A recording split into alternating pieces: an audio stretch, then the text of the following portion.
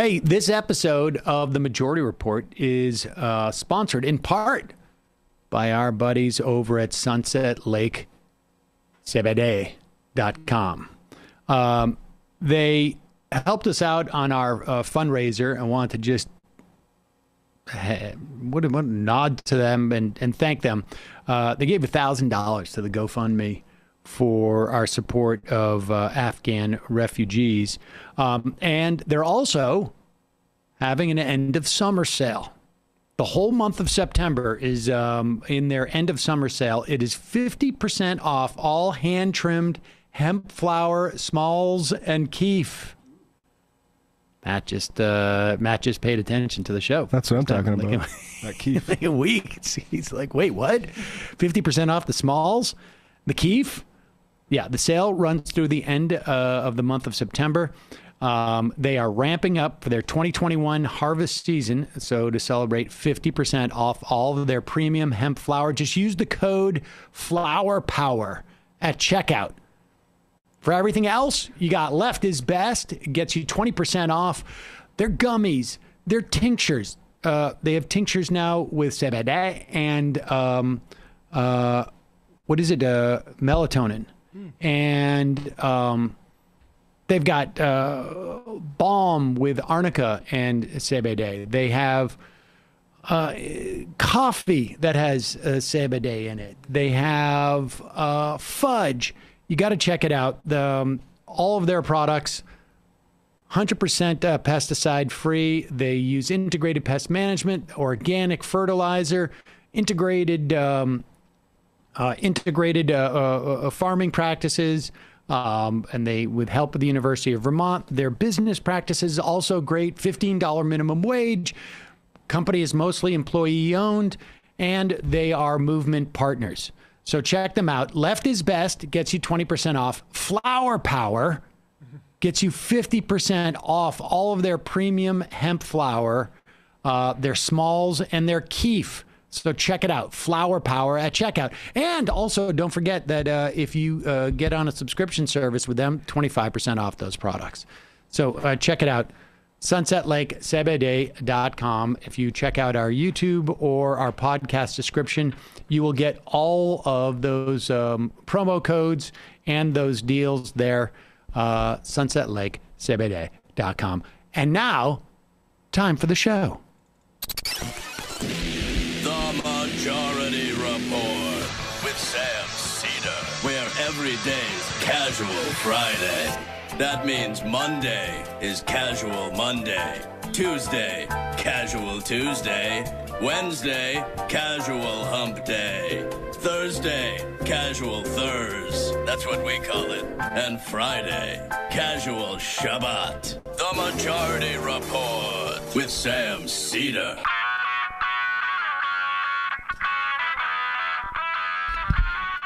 It is Friday, September 10th, 2021. My name is Sam Seder. This is the five time award winning Majority Report. We are broadcasting live steps from the industrially ravaged Gowanus Canal in the heartland of America, downtown Brooklyn, USA. On the program today, Washington, D.C. Bureau Chief of The Intercept, also host of Hill's uh, Uprising. Uh, Rising. Ryan Grim will be joining us to look back on the week that was, and in addition to that um, piece they broke in the Intercept about uh, Joe Manchin's daughter. And then uh, later in the program, um, Matthew Film Guy will join us. May reminisce a little bit about uh, 9 11. Also on the program today, Joe Biden announces massive new testing and vaccination mandates, and right wing heads explode. But the majority of U.S. citizens support that mandate. Meanwhile, the DOJ sues Texas over its abortion ban. And the sliced and diced reconciliation bill is making its way through five different House committees. We'll talk to Ryan Grim about what he's heard, the latest on that. Meanwhile, Joe Biden withdraws his alcohol, tobacco, firearms nominee, as the nominee was too anti gun for, at the very least, Angus King from Maine and, of course, Joe Manchin. Air Force Inspector General says the Air Force and Space Force rife with sexual harassment and racial bias. Jair Bolsonaro bans social media from removing misinformation. Coincidentally, so does uh, Governor Abbott in Texas. Free speech in Brazil. There you go. And lastly, Gavin Newsom seems to be polling well in the California recall campaign. Joe Biden will be the latest Democrat out there to campaign with him. All that and more on today's program. Ladies and gentlemen, uh, thanks for joining us. Emma Vigeland continues her vacation. Uh, she will be back with us on Monday, as as as I will as well. Uh, be back on Monday, but it's a little bit early to talk about Monday. We still have Friday to go. Uh, the big news, of course, is that uh, the Biden administration announced last night sweeping vaccine mandates for federal workers, for federal contractors, and under the auspices of OSHA. This is the uh, Safety and Health Administration, the Office of Safety, Health, and Administration in the federal government. This is the agency that says um, you must have proper ventilation for your workers in a pandemic. You must have other practices to maintain the safety and health of your employees. Well, they will uh, issue another regulation, which is your employees, if you have a entity that is over 100 employees, must be vaccinated or must receive testing on a weekly basis. It's not so much a mandate for the private sector as much as it is an ultimatum on this regulation. Uh, here is Joe Biden announcing this. In addition, there are other uh, aspects of this. And here's Joe Biden. We need to do more. This is not about freedom or personal choice. It's about protecting yourself and those around you, the people you work with, the people you care about, the people you love. My job as president is to protect all Americans. So tonight, I'm announcing that the Department of Labor is developing an emergency rule to require all employers with 100 or more employees that together employ over 80 million workers to ensure their workforces are fully vaccinated or show a negative test at least once a week. Some of the biggest companies are already requiring this United Airlines, Disney, Tyson's Food, and even Fox News. The bottom line we're going to protect vaccinated workers from unvaccinated coworkers. We're going to reduce the spread of COVID 19 by increasing the share of the workforce that is vaccinated in businesses all across America. My plan will extend the vaccination requirements that I previously issued in the healthcare field. Already, I've announced we'll be requiring vaccinations at all nursing home workers who treat patients on Medicare and Medicaid because I have that federal authority. Tonight, I'm using that same authority to expand that to cover those who work in hospitals, home health care facilities, or other medical facilities a total of 17 million healthcare workers. If you're seeking care at a health facility, you should be able to know that the people treating you are vaccinated. Simple, straightforward, period. Next, I will sign an executive order that will now require all executive branch federal employees to be vaccinated. All. And I've signed another executive order that will require federal contractors to do the same. If you want to work with the federal government and do business with us, get vaccinated. There it is, and uh, pretty big news. And I can tell you, um, you know, we'll talk more about this as the program goes on, but I can tell you that just even the the, the healthcare stuff, um, uh, personally, that is a uh, a big issue in my extended family. Um, and I imagine that is the case for millions and millions of other Americans. Um, we'll talk more about the political implications of this. Now, of course, the big news for the vast majority of us um, watching that clip is uh, that there's going to be a vaccine mandate for federal workers um, and a vaccine, I guess, ultimatum uh, for private workers. You gotta you gotta make sure you're tested or you get vaccinated. But for some, there was other news that became really surprising. Here is a uh, tweet from Todd Starnes. He is a on the um, on the Salem podcast, Salem Radio Network. Salem Radio Network. This is a right wing radio network, and this is uh, this is pretty sad stuff. Uh, go ahead, show this. This is uh, watching someone's heartbreak. Will you pop that up? That tweet.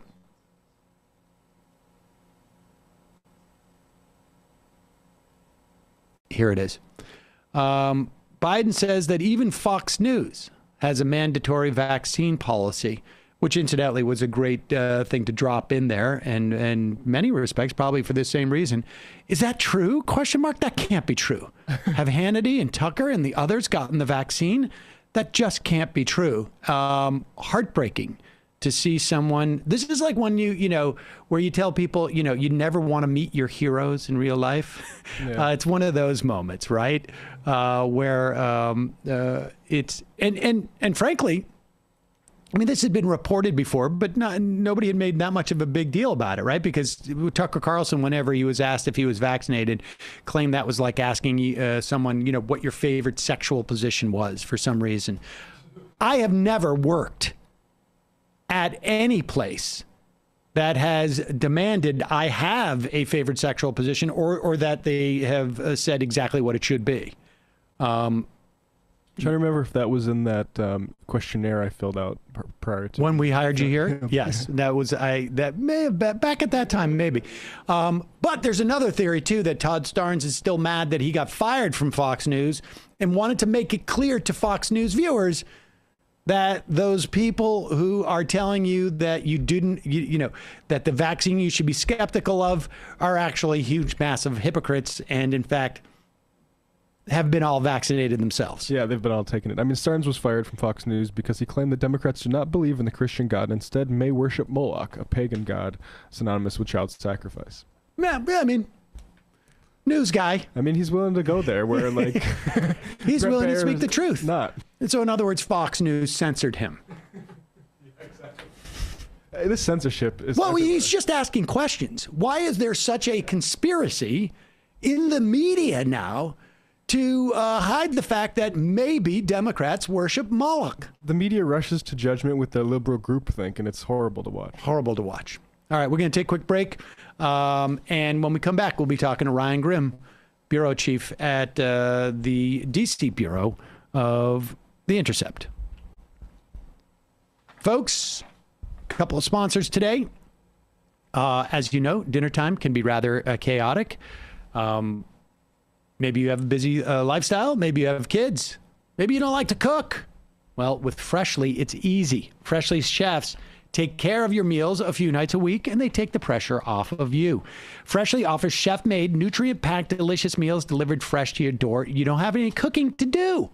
None required. With Freshly, your meals arrive cooked and fresh every week, so you can keep your fridge stocked and skip the trip to the store. Ordering super easy. All you do is you go visit freshly.com. You choose from over 30 meals like steak peppercorn, sausage baked penne, and their chicken pesto bowl. Freshly it can fit your lifestyle. They have a variety of plans. They have a bunch of different meals to pick from, and it all is catered towards your needs, towards your preferences, and towards your tastes. Your meals are ready to heat and enjoy in less than three minutes, or about three minutes. People know this story. I've told it many times on the program. When uh, my sisters and I decided that my mom uh, needed basically meals delivered to her. Uh, We wanted to make sure that she was eating uh, properly and not having to cook. But we also knew that she wouldn't accept them from us uh, if she thought we were paying for them. So uh, my sister did research. She looked around for what was was the highest rated meals, and we got Freshly. My mom loved it, and we told her that Freshly was a sponsor of the show, and they'd give me a lifetime supply, which of course was a little bit of a fib. Then, coincidentally, a year later, Freshly um, reaches out to us and says, "Can we advertise?" Without knowing the story, obviously. And uh, I told the story, and my mom found out that we had been lying to her. But she loves uh, the steak peppercorn, and that um, that trumped all. So, right now, Freshly is offering our listeners forty dollars off your first two orders when you go to Freshly.com/majority. Stop stressing about dinner. Go to Freshly.com/majority for forty dollars off your first two orders. That's Freshly.com/majority for forty dollars off your first two orders. Also, uh, folks know that uh, for a long time, I uh, was uh, against the use of deodorant. Why? Because I didn't want to put any of those chemicals in my system. And um, it was marginally successful. Sometimes it I stunk. Uh, and so, uh, fortunately, I was introduced to Native because sometimes life stinks, sometimes you stink. And um, but with Native, you don't have to.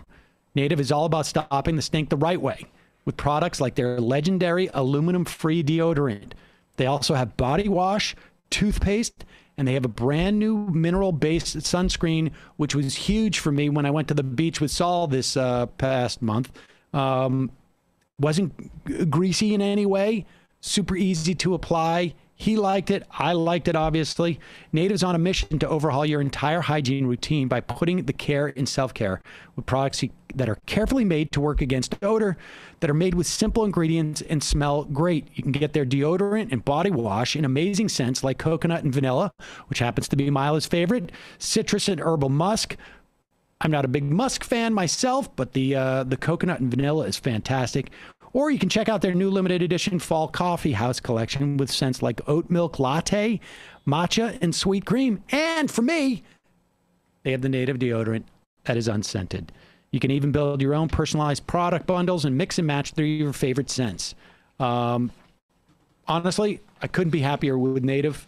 Um, like I say, I like the unscented, but I also feel great that I'm not putting that stuff in my uh, uh, in my body. Stay fresh, stay clean with Native by going to nativedeo, D-E-O, dot com slash majority report or you use the promo code majority report at checkout you get 20% off your first order that's nativedeo dot com slash majority report or promo code majority report at checkout. You get 20% off your first order.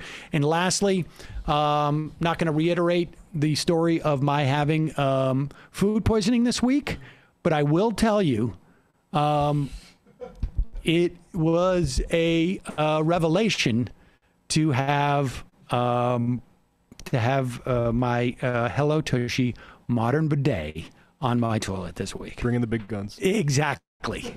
I had never contemplated the implications of my uh, my bidet um, when it came to something like food poisoning, but I can tell you, winner, winner, um, I guess bad chicken dinner really would be. but Tushy is the modern bidet for people who, you know, go to the bathroom and poop. You just poop, you wash, you pat dry. The Tushy bidet washes your bum with water for a better clean than toilet paper.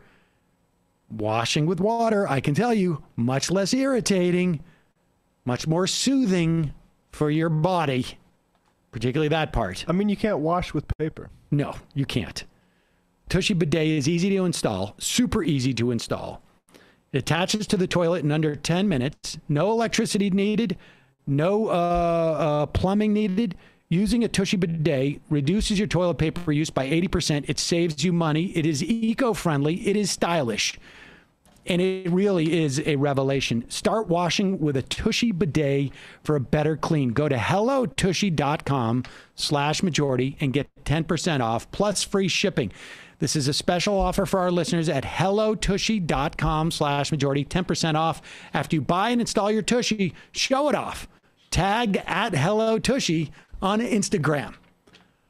All right, want to uh, welcome back to the program DC Bureau Chief of The Intercept, also host of the Hills uh, Rising YouTube daily show, uh, Ryan Grim. Ryan, welcome back to the program. See you, Sam. I, want to talk about um, your big story uh, uh, that that you guys ran the other day about Joe Manchin's daughter. But uh, first, let's talk about the the sort of the, the the mandate. That's obviously the big news of the day. Um, this is a big deal, I think, um, both from a policy, public health policy standpoint, and also I think what is really not, I think appreciated. This is a big political move too for for Joe Biden. What what's your sense of this?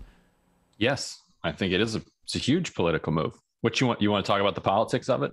Well, let's. I mean, uh, let's just. I mean, broadly speaking, from a policy standpoint, like I mean, I think it makes some sense, right? I mean, uh, the we're watching state by state yeah. where the vaccination rates are lower um, go into crisis mode about their ICU.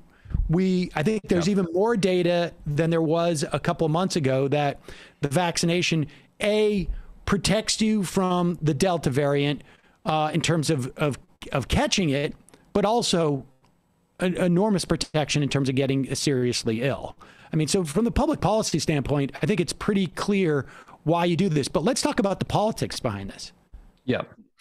So it's it's interesting. I so on the one hand, I think they they resisted doing this as long as possible. You know, they were they were hoping that the surge that there would not be a surge. They were hoping, like the rest of us were, in the spring that it was going to wane. We are going to have a hot girl summer uh, you know, it's we're moving on with our lives and everything's opening up.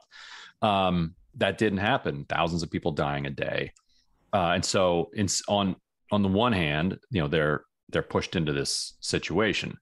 Uh, but I, I do think actually there is an argument to be made that the politics work out for them. Now, they're certainly going to anger some segment of the population that and some segment of that population uh, aligns with Democrats. So it'll be interesting to see if um, there's any reaction in the California recall. Like, let's see if let's see if anybody gets any voters there get pissed at Democrats and come out and and well, wait a second. I mean, a you, protest vote. Okay, so wait a second. The the the, the people that they piss off. Um, you've got a Venn diagram, right, of people who would vote for Democrats and, and, we're not talking about intensity here. We're just talking about just you know, right. if if someone could show up at their door and say, "Here's a ballot, and please, I'm not going to leave until you until you vote." Mm-hmm. You got a you got a Venn diagram, right? You get the circle of people who are going to vote for Democrats. You get the circle of people who are going to vote for Republicans. Are there? Do you think there's really any significant number of people who would vote for Democrats who are would be mad about this mandate at this point? This is I don't I don't know. I don't, I don't, I, I wouldn't rule it out. Uh, I think it's possible. I, I, I think it's far outweighed by the number of people who are going to be, uh, who are going to be excited and enthusiastic about it. Um, and I think it's outweighed by the number of, pe- of people on the Republican side who I, who avoiding a vaccine has become part of their identity. Right. And we're, and we're going to be angry anyway. And so that was the other point that I was getting to that the interesting politics here are that what this and then the way he framed it also like the way he framed his speech was aim, was aimed Let's at play this clip. We have yeah, this clip. This is where he he does it because I think there's there's two things that are going on here. I mean, there's one this is a wedge issue in some respects, right? Because you've got 65 to 70% of the population mm-hmm. who are already double vaccinated, 65%, and around the exact same number who are in favor of a mandate. I don't right. think much of a coincidence, yes. right? Uh, and but here's how he framed it. Here, uh, uh, uh, play this clip. My message to unvaccinated Americans is this: What more is there to wait for? What more do you need to see? We've made vaccinations free, safe, and convenient. The vaccine has FDA approval. Over 200 million Americans have gotten at least one shot.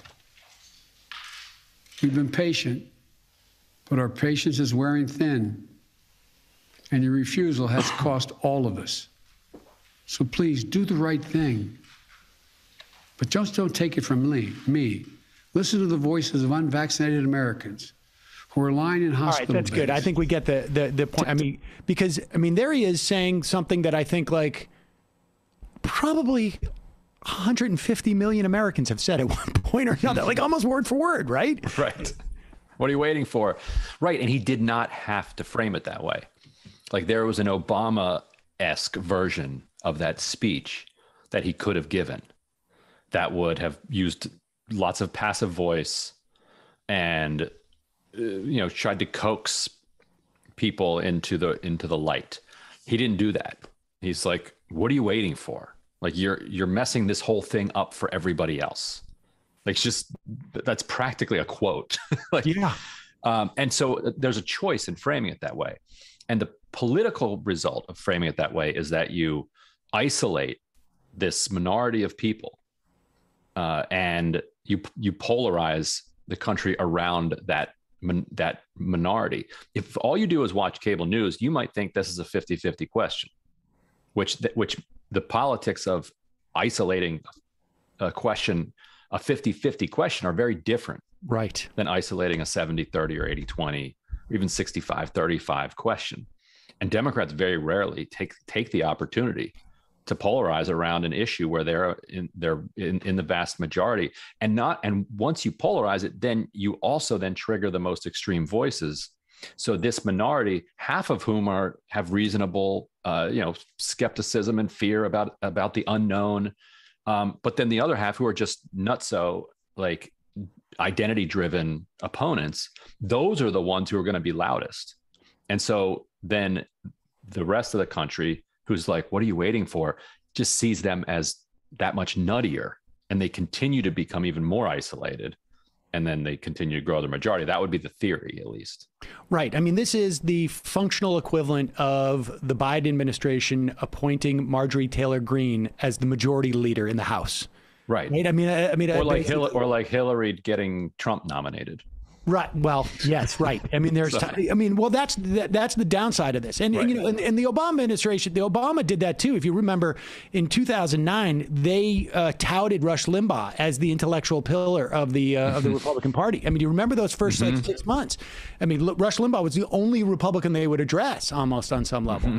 Um, so there's some times where it works and some times where it doesn't, and and and that's that's the thing about this, is that, which is is tough to predict, and and it, and it makes it sort of a bold move by the the Biden uh, White House in the way that they approach this, because this seems like it, it, to me, it is more um, of a no-brainer if we are going into a general election, as opposed to a midterm election, right? Because a midterm election is about enthusiasm, mm-hmm. and the question is, is you know, are you making the anti-vaxxers, which the overlay, in my estimation, you know, that Venn diagram, and I'm talking the anti vaxxers, not the people who are saying it's been inconvenient or I just haven't had the time or I'm afraid to take off time from work, because this addresses that for a lot of those people. Because it, there's the mandate comes with a mandate for employers to give people time off,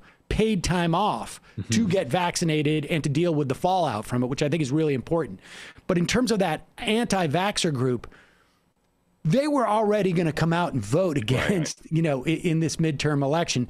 And maybe you've sealed a deal. I don't know that you've motivated um, pro vaccination, pro vaccination mandate people enough with this, but that's an attempt to do it, right?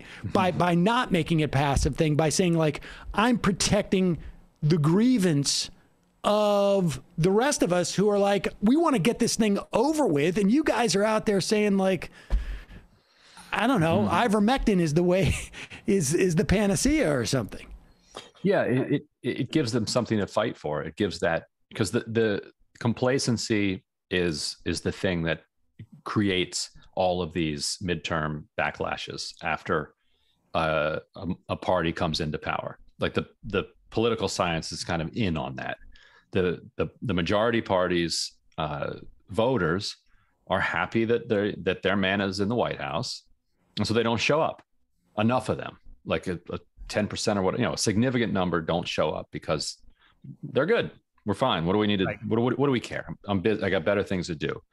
The, the party that's out is angry that, you know, every single day is another microaggression, seeing this, this person in the White House. And so they get motivated to go out. And so this, I think, gives some motivation to the, to the majority, like to the, to Democrats to go out and, and show that they're because they're pitted in this fight. You know what's what what doesn't what, what makes the political science not necessarily reliable going forward is that we're in such a tense time now that everything is fraught and being fought out in a way that it wasn't before Right. and so if this culture war, and it's a culture war, like he's he's he's polarizing it around culture. Uh, if this culture war is going to be decided at the midterms, then you can't you can't ever rest on your laurels in a culture war. You know, if you've got the if you if it's all just politics or electoral politics, and your party controls the White House, you can take it easy. But if it's an ongoing culture war, you've got to constantly keep coming out, and so that that could have an influence on on turnout. I think in a in a in a way that this time benefits Democrats. We, yes, I mean what's fascinating about this is right there's there's two big elements that we don't know. I mean again, you know, if the uh, if the election was this November instead of a year from November, uh, it, things obviously would be clear. But the Republicans are organizing around these anti-mask, you know, like anti-mask and anti-vax.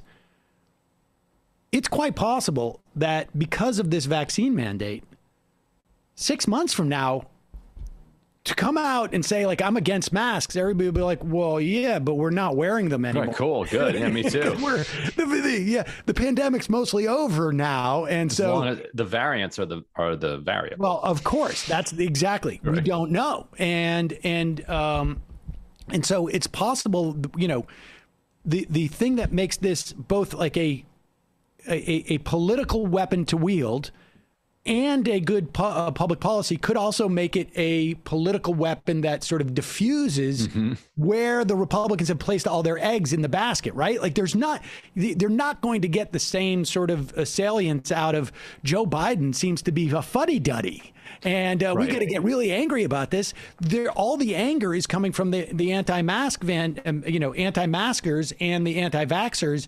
And if if six to eight months from now, you know, the, the, the country is a lot like, let's say, New York uh, in terms of what we're seeing for, or, or less. Um, the the Republicans are they're gonna it's gonna be hard for them to find something to get angry about. Right, Uh, because right, exactly. Because if you're everyone's against uh, masking and everyone's against locking down in a time when there's when you don't have to do it. Right. So if if they're like, let's stop wearing masks, I'm against lockdowns, no more lockdowns. You're like, well, there is no lockdown. We're not wearing masks. I think that's exactly right. No, If if that is the situation in November 2022, and and let's say it it you know the the pandemic eases because the variants burned out. Uh, you know, Delta was is Delta is like ticking downward right now. I mean, hopefully, we're at the peak and it's coming down.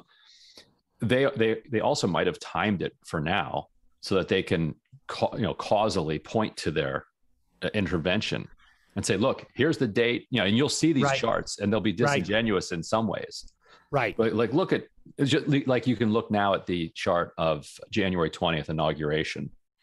It's like the, the peak of the entire ep- pandemic so far is like January 20th, 20. Right. And as soon as Biden got in, he was able to drop But it. But it's disingenuous to be like, look, Biden himself like dragged this down. But you'll you'll see a little dot. Biden introduces vaccine mandate, and then you'll see Delta numbers coming down. If they stay down and flatten out, um, and then there's and then restrictions are lifted, I think you're right that the politics all uh, militate toward him. I imagine this time around too, the Biden administration is going to be a little bit slower to roll out the mission accomplished banner. Uh, because you, you know, one of the depressing things about this, you know, by, by the time we got to July was like in May, it looked like it's going to be the you know the the you know the summer of love, and uh, it didn't work out that way. The other element that that could be interesting to work into this is sort of like a little bit tangential, although you know uh, Jim Jordan, uh, I think it was this week, you know, hinted at this. Is that you know we're talking about negative partisanship driving poll number, you know, driving people to the polls between now and um, the midterm, Donald Trump could be running for reelection, and that was the you know that then all of a sudden we get to like a almost like a rough facsimile of 2018, right? Where you can vote against Donald Trump today before he even's even running by coming out and voting against him in the midterm. It'll be the second time Democrats are rooting for Trump to run for president. Well, yeah, exactly, uh, exactly. Um, But this time, there's no risk that he'll be elected in 2022. Exactly. so Exactly. in, their, short-term interest, they're like, yeah, come on out. Um, and I think you know, the more that that they polarize around these more extreme issues, it, the harder it does get for him, um, you know, to win in 2024. But like we we already saw them, you know. Uh, Well, bungle- and this time too, I think there's a um, a there you don't have to sell the the idea to uh, Democrats that Donald Trump can win. Right, No, Right, I mean that, that was a that was also a big factor. It wasn't just that they conv- they they wanted Donald Trump to run; it was that they didn't think he could win. yeah. Uh, and uh, this time around, I think there would be uh, a little more savvy about that. All right, Like, so like they were in 2020. Right, exactly. And and so let's all right. So let's turn from that because the other thing that you know, and it's it's fun to be able to talk about uh, things where there's a political advantage for Democrats and a massive public policy advantage for all of us. Um, you know, and, and moving from the vaccine mandate to you know what's winding through Congress as we speak. There are five committees that are uh, you know. Uh, looking at different aspects of the 3.5 trillion dollar budget uh, bill, uh, the reconciliation bill, um, and and here's how we you know I, I'm tie in on your story. Um, Joe Manchin comes out last week or end of last week, maybe beginning of this week, um, and says, "Yeah, I'm looking at something that's more like one trillion dollars. I could see myself going up to 1.5 trillion dollars, but 3.5 trillion dollars we couldn't possibly do because." And then mumble mumble something inflation, mumble mumble National uh, security in the national deficit. Security. I, you know, w- w- I, I don't know what else comes after those words, but it, it's just sort of mumble mumble. Uh, institution, Senate, something, something. Um, so, like, w- first off, what's your sense? And there was already, I think, uh, Stephanie Murphy came out and said she, from Florida in the House that she's not, she's going to vote against it already because it, it's not, she doesn't have enough time to read it. Um, and um, what's your sense of where it's what the where it, what what's the state of play in the House and uh, you know the Senate, and then let's talk about the implications of of your you know blockbuster story because you know people say uh, Joe Biden LBJ. Well, LBJ it seems to me would be would have would would He'd know what to do with it. you know what to do with that story. It seems to be, but So then the House, is- I think, yes, Stephanie Murphy likely no. Uh, Kurt Schrader, former head of the Blue Dogs, I think is a pretty solid no.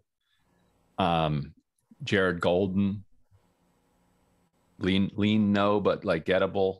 Um, but then everybody else, like every pretty much everybody else is a likely, you know, is is is gettable. Like those are the two.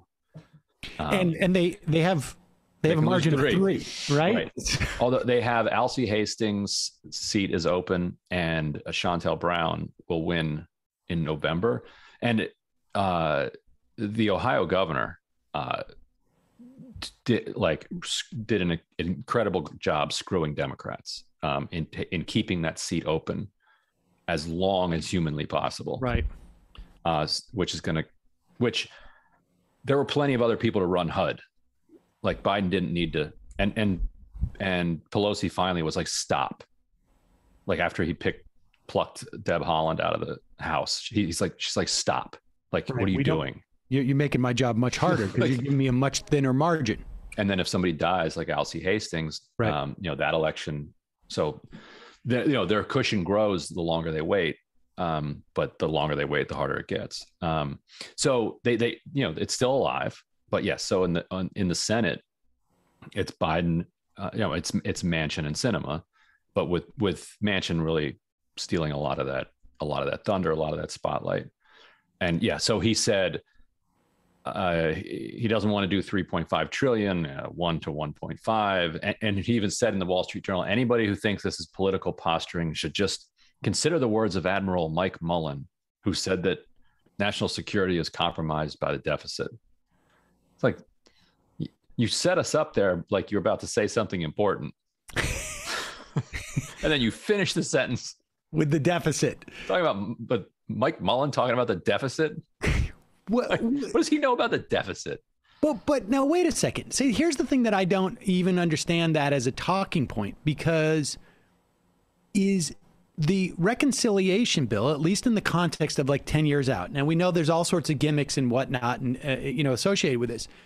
But my understanding is like, doesn't that have to be deficit neutral under the reconciliation no. rules, or no, it does not? It, it, it, doesn't. It's whatever you write into the rules. Okay. And so and, the the tax cut that that Trump did was allowed to be I forget what exactly, but like 1.6 trillion under the deficit. Like so it's what it's whatever you write into the so it could actually include uh 6.5 trillion dollars in spending and as long as it had 3 trillion in in pay fors is is I think my understanding of how this I haven't read these instructions but that would be in line with how instructions like this would be passed. So it doesn't have to be deficit neutral.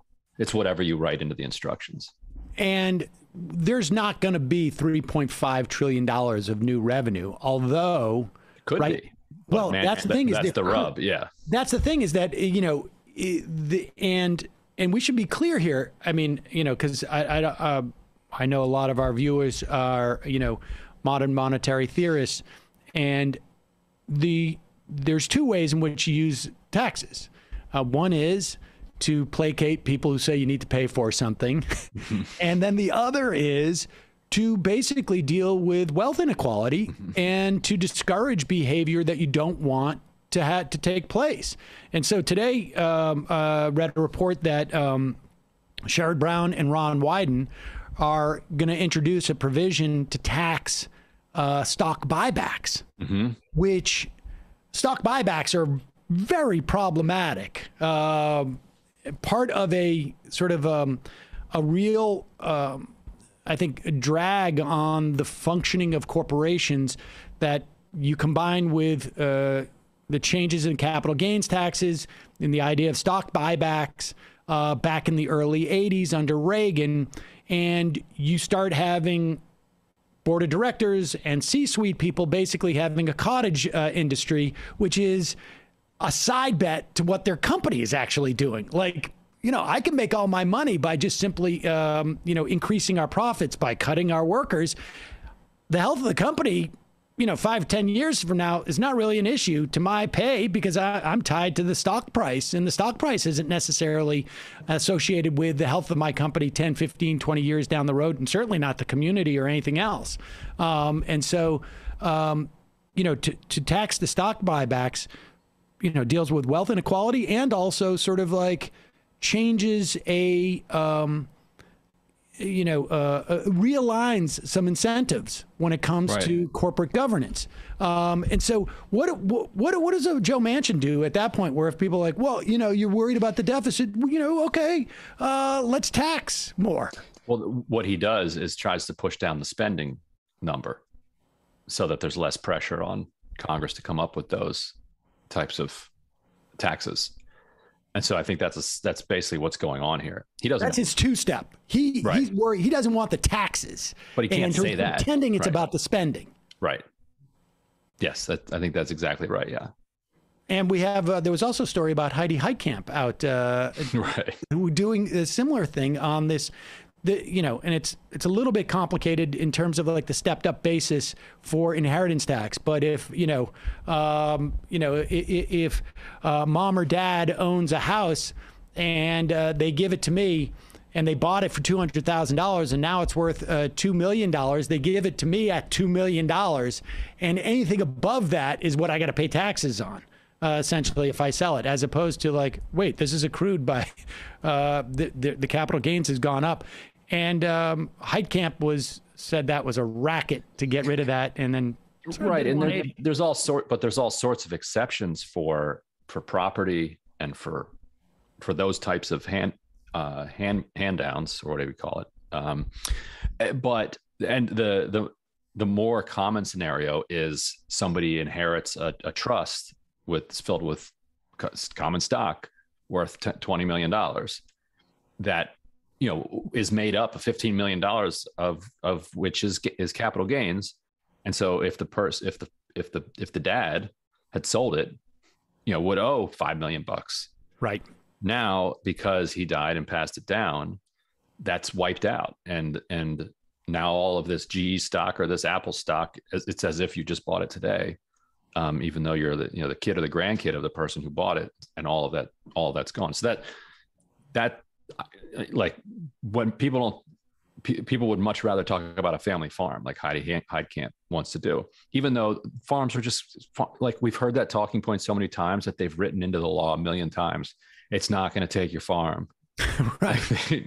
it's in. It's like right in. That's, that's practically the legislative language. Stop worrying about your farm. It's not about your farm it's about your Apple stock.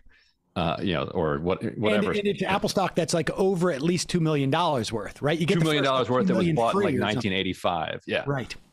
All right. Well, let's let's talk about the story that you guys did. You broke about um, about uh, Joe Manchin's daughter. Her name is Heather Bresch, mm-hmm. right? Mm-hmm. Uh, tell us about this story because this, it seems to me, uh, should if I'm Joe, Man- one would hope Joe Manchin would be like, "Hey, I'm not gonna make too much of a stink right now." Maybe the opposite, but but tell us the story. Well, Mylan Pharmaceuticals is the it's the, currently the distributor of EpiPen, and it's for years it was a kind of the pride of West the pride of Morgantown. You know, this homegrown um, West Virginia pharmaceutical company that that that uh, that trafficked in a lot of generics like so, like really making the world a better place, like producing cheap, you know, affordable medications for people. Uh, so Heather Heather Bresch got a, got gets a job uh, working for them in the 2000s. 2007, she gets promoted to uh, chief operating officer, which is the first scandal that that hits the family because she had been claiming for a long time that she had this executive business degree a master's from West Virginia University. And so, like a good local paper, the Pittsburgh Post Gazette, because it's Pittsburgh's like the biggest city near there, called West Virginia University. You, you can call the registrar and ask about anybody's degree. I once called, asked if Yusuf Al-Otaiba had actually graduated from Georgetown, like he claims to have. He's the ambassador from the UAE. They're like, nope, he didn't. like, oh, good, nice, nice little nugget from my profile there. Um, and so they're like, no, no, she's like halfway there. Like she's not, not even close. It's not like, oh, she didn't turn in her final paper. Not even close. So Pittsburgh paper reports that. Uh, then they get a call from the school. There was a mistake. Uh, the governor's daughter, in fact, uh, did. Manchin was governor at the time. Manchin's governor in his second term. Coincidence? Yes. Uh, he, he, did. Oh no, the end of his first term. He so they they run this correction. We're sorry. How could we have done this? She did. She does have a master's degree. Um, enough people knew that she did not because she wasn't even close. That they then had to. There were protests at the school. They had to. They had to do an actual investigation where they hired an independent kind of legal team to like look into it, and they found that they had the school in response to the paper had like actively just fabricated grades and classes and everything to like give her this this degree. It led to the resignations of all the top leadership at, the, at West Virginia University, a huge college. Um, uh, the only consequence for Bresch was that it she no longer listed that on her bio on oh. I mean, you got to go back. You got to get yeah. copies of your CV. I mean, yeah. that's not nothing, right? Update, I mean, update. You got to update your LinkedIn. so she continued rising. She becomes uh, CEO short, shortly thereafter, president and CEO of Mylan Pharmaceuticals. Uh, Manchin's wife, her mother, uh, becomes the top lobbyist for the Association of School Boards, which will become relevant in a second. Um, so in in so she, Mylan owned the the right to distribute EpiPen. It was made by it was the medicine was actually made by this other company, which uh, was was getting purchased by by Pfizer. Pfizer also made a competitor, kind of generic-ish competitor called Adrenaclick. So now Mylan was facing the possibility that that Pfizer is going to own not just part of EpiPen, but also own this generic-ish competitor to it. And so I got an email that the subject of which is our discussion, and it's from Heather Bresch to Ian Read, who is the CEO of Pfizer. She's saying, just wanted to confirm our discussion that after your purchase of King Pharmaceutical, uh, that you're going to divest from Adrenaclick. Just want to make sure we're all in the same. Because I saw you close today. She's Now, what does that wasting no mean- time. What does that mean? Divest from my like? What are the implications of that that What- that, company basically goes under? What it meant is they pulled Adrenaclick off the market. Okay. Yep. That- That's, that's what they ultimately did later that year, in fact. So that that's So what in other words, there's no competitor to EpiPen. Right.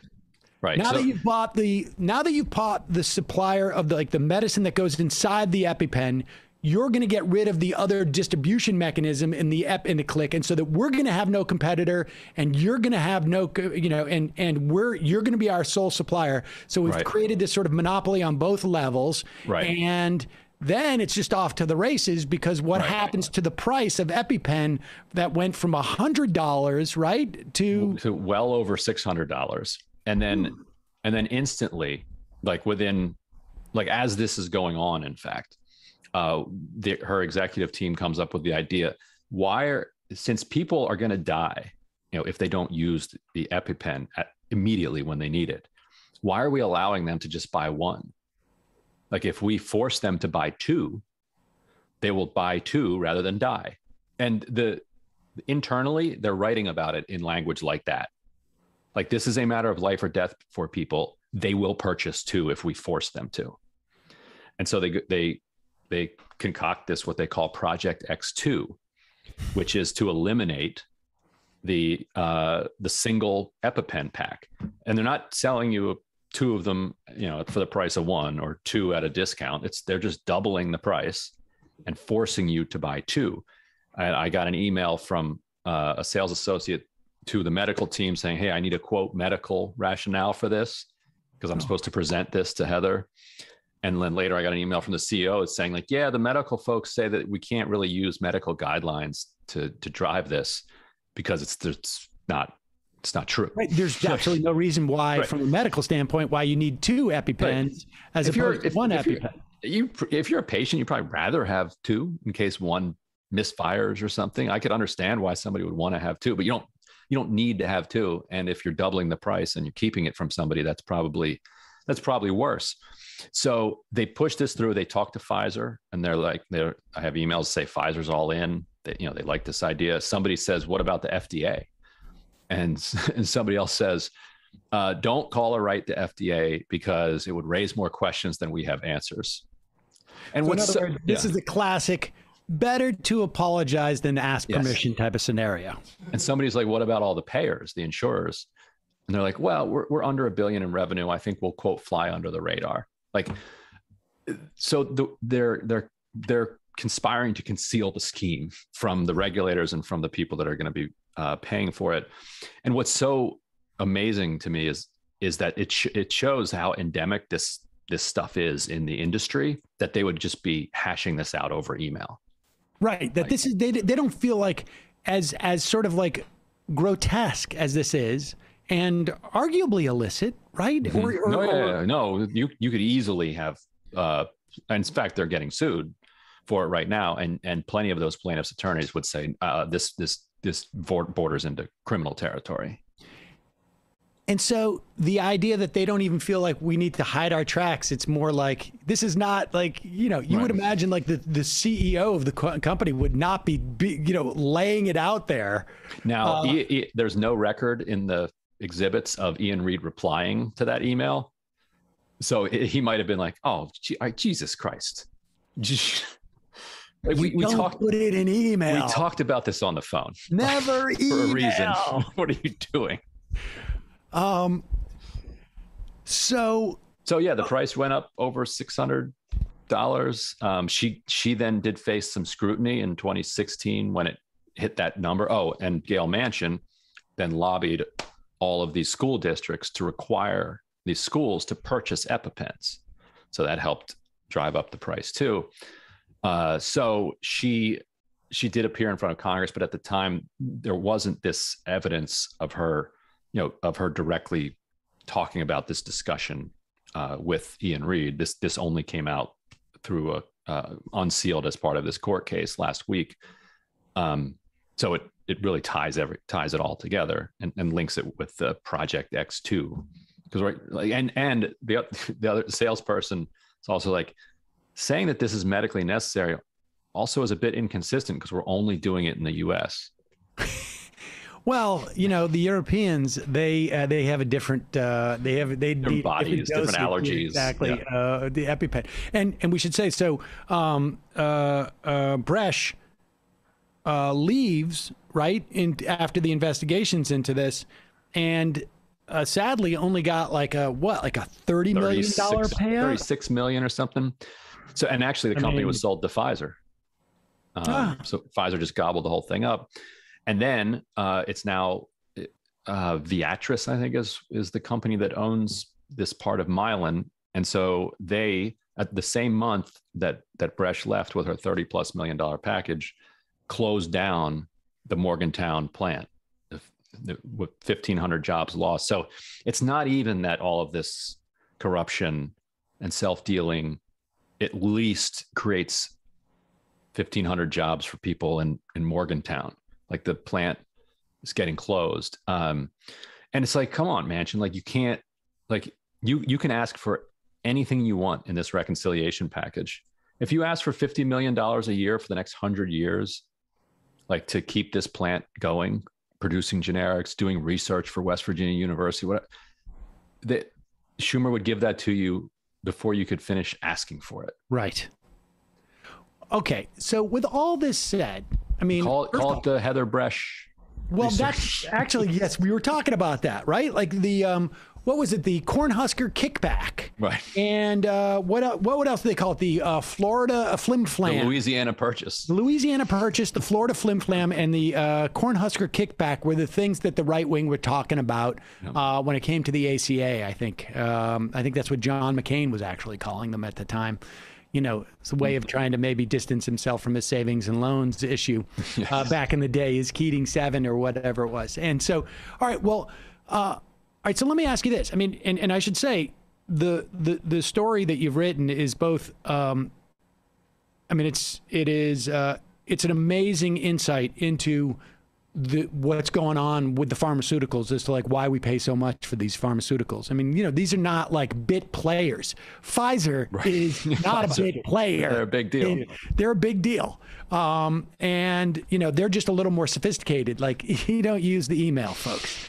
Like, and uh, you know, we you don't send emails. You don't do it that way. I, I don't. That probably went in my spam folder. Is what they probably are trained to mm-hmm. say at that point and I never saw it. Don't remember um, that discussion. Yeah, I don't. I don't remember that phone call at all.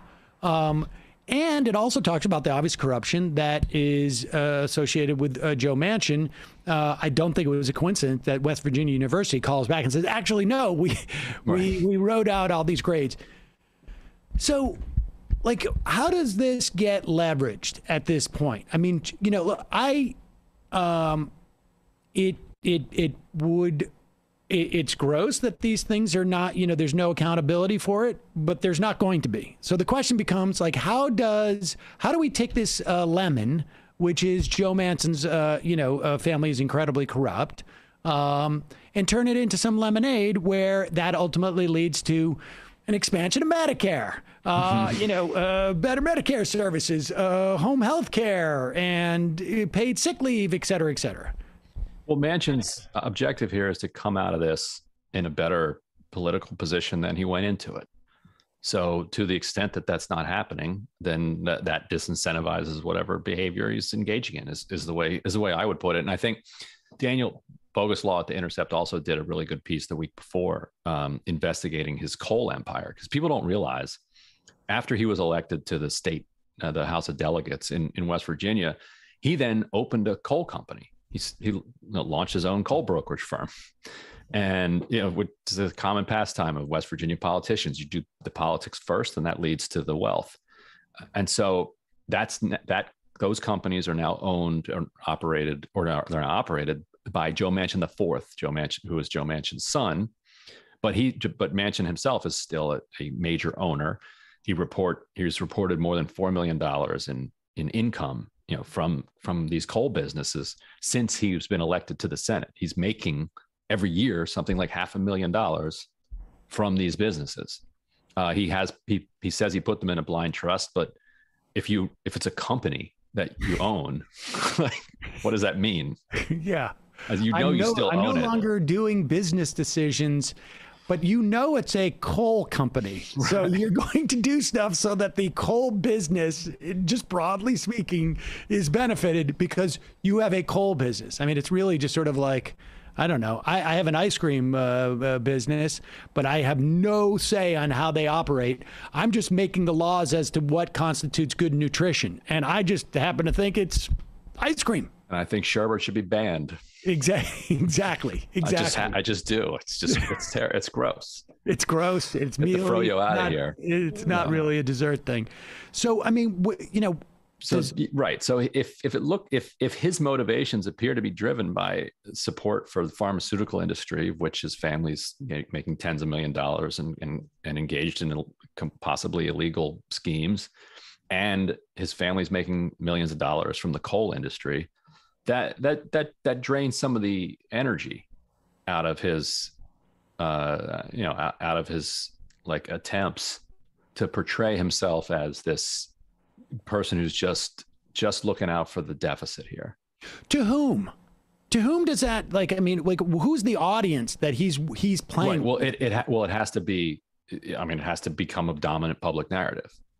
Like you'd have to have MSNBC, Rachel Maddow and Chris Hayes, uh, Lawrence O'Donnell. Like it's not impossible, uh, but but they'd have to decide to, to cover, po- the cover story. they'd and- have to decide to cover politics in a in a way that that includes that is more holistic than than the media tends to cover politics.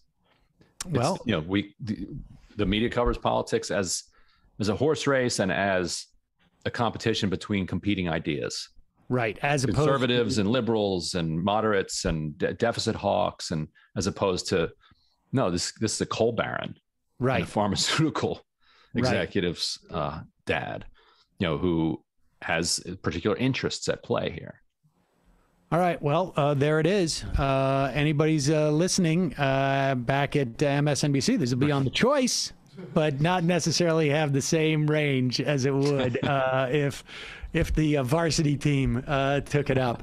Um, Ryan Grim, um, thank you so much. We'll put a link to these stories. People should pass these stories around. Send them to your favorite uh, news host uh, and have them repeat them. Uh, Ryan, thanks so much for your time. Really appreciate it. A pleasure. All right, we're going to take a quick break, right back, and finish this up.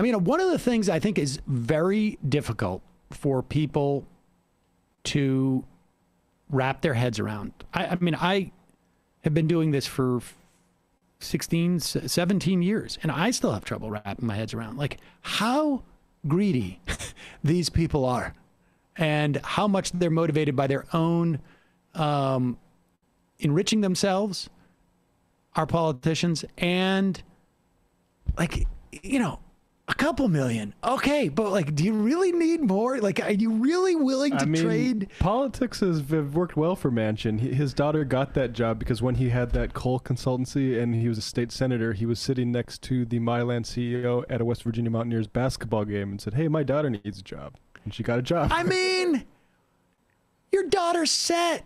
Dude, go on, you know, retire for God's sakes. I just don't get it. But Uh, find uh, uh, the, that Intercept story. We'll put a link to it and spread it around, folks.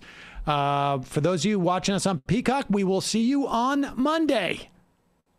And for the rest of you, we're going to have Matthew Film Guy on, uh, well, I guess uh, just after we play the thing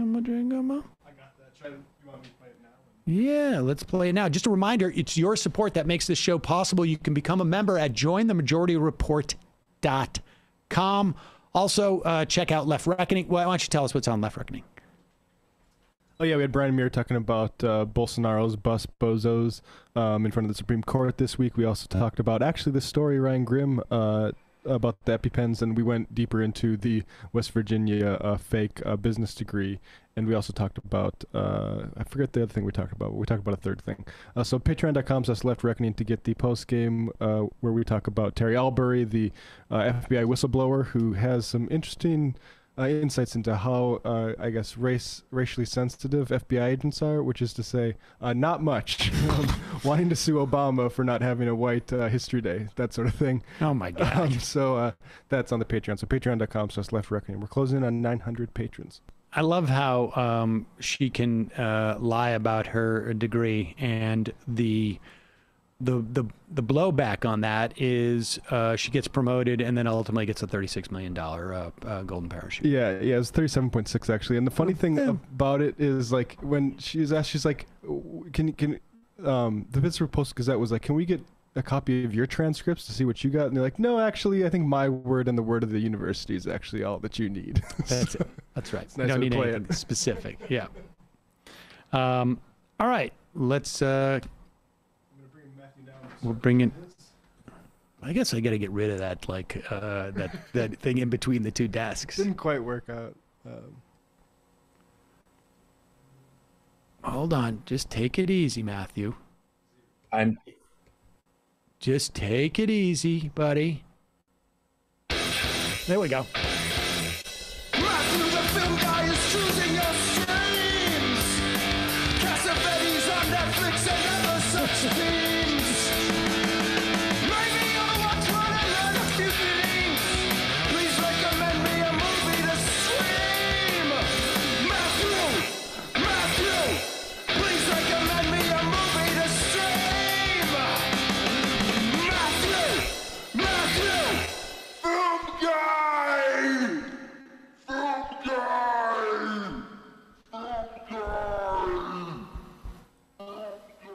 So yes, ladies. Yes, ladies and gentlemen, uh, it is Matthew Film Guy, and let me just—I'm going to do just going to pull the curtain behind, uh, pull the uh, curtain back on the inner workings of the show and the way that we book this. Now, originally, I had pre-taped Russ Feingold, Senator Russ, former uh, Senator Russ Feingold, uh, and was was intending to play it today. We were going to have uh, Grim on yesterday, but the last minute, uh, Grim had uh, had had to cancel, which you know happens rarely. Happens a lot with a guy like Grim. Actually, I got. I'm not gonna lie. Uh, I think it's like third time he's done that in the history of the show. Now he's been on the show, you know, more times than most people. So and he's busy, and so I was like, we we made like a, a late call, like around I don't know, 11 a.m. or 11:30, even to say like, let's run the Feingold interview. You know, so it's tomorrow, September 10th, September 9th is just as legitimate and this and that. And it'll make sense to talk about the week in politics with, with Grim. And uh, there's going to be this vaccine mandate and, and et cetera, et cetera. And I thought maybe I'll talk to, about uh, to Grim about 9 11. We ran out of time and, and all the things that happened. And then just over the course of the week, I'm like, uh, who are we going to have on this weekend? I can't remember. When was the last time Matthew was on? Uh, we'll have Matthew on. And then um, I, I forgot that like you know you're a you're you're an appropriate uh, sort of 9 uh, 11 20th anniversary guest um, to have on for the second you know like the the sort of the, the fun half-ish the because you know our work together was very much implicated by uh, 9/11. I mean that you know that uh, our the the forging of our uh, friendship was uh, very much around pivoted around 9/11 in, in a weird way, didn't it? It did indeed, and you know, and just in general, I'm the perfect substitution for Feingold. That's I've done that No, many, you're many not the times. sub. No, you no, you missed. he no, and I are. I mean, no, no, no, no. I mean, I think of me when I think of. You're not Okay. the substitution for Feingold. I'm saying Okay. that if I had somebody in this that's going on my resume. you know wanted to talk about 9/11, you're the most appropriate person. That just worked out that way. he and I both took a principled stand against the uh, USA Patriot Act. I think that's one thing we have in common. All right, let's not list all the things I have in common with I think we just But did. yeah, indeed, that's just the start of it. But I won't go into it. Uh, indeed, Sam. Uh, you know, we were in the occur to you? midst of. When when I call, when I when I texted you yesterday. Yeah, absolutely. Well, you sent me that absolutely, it did. yeah.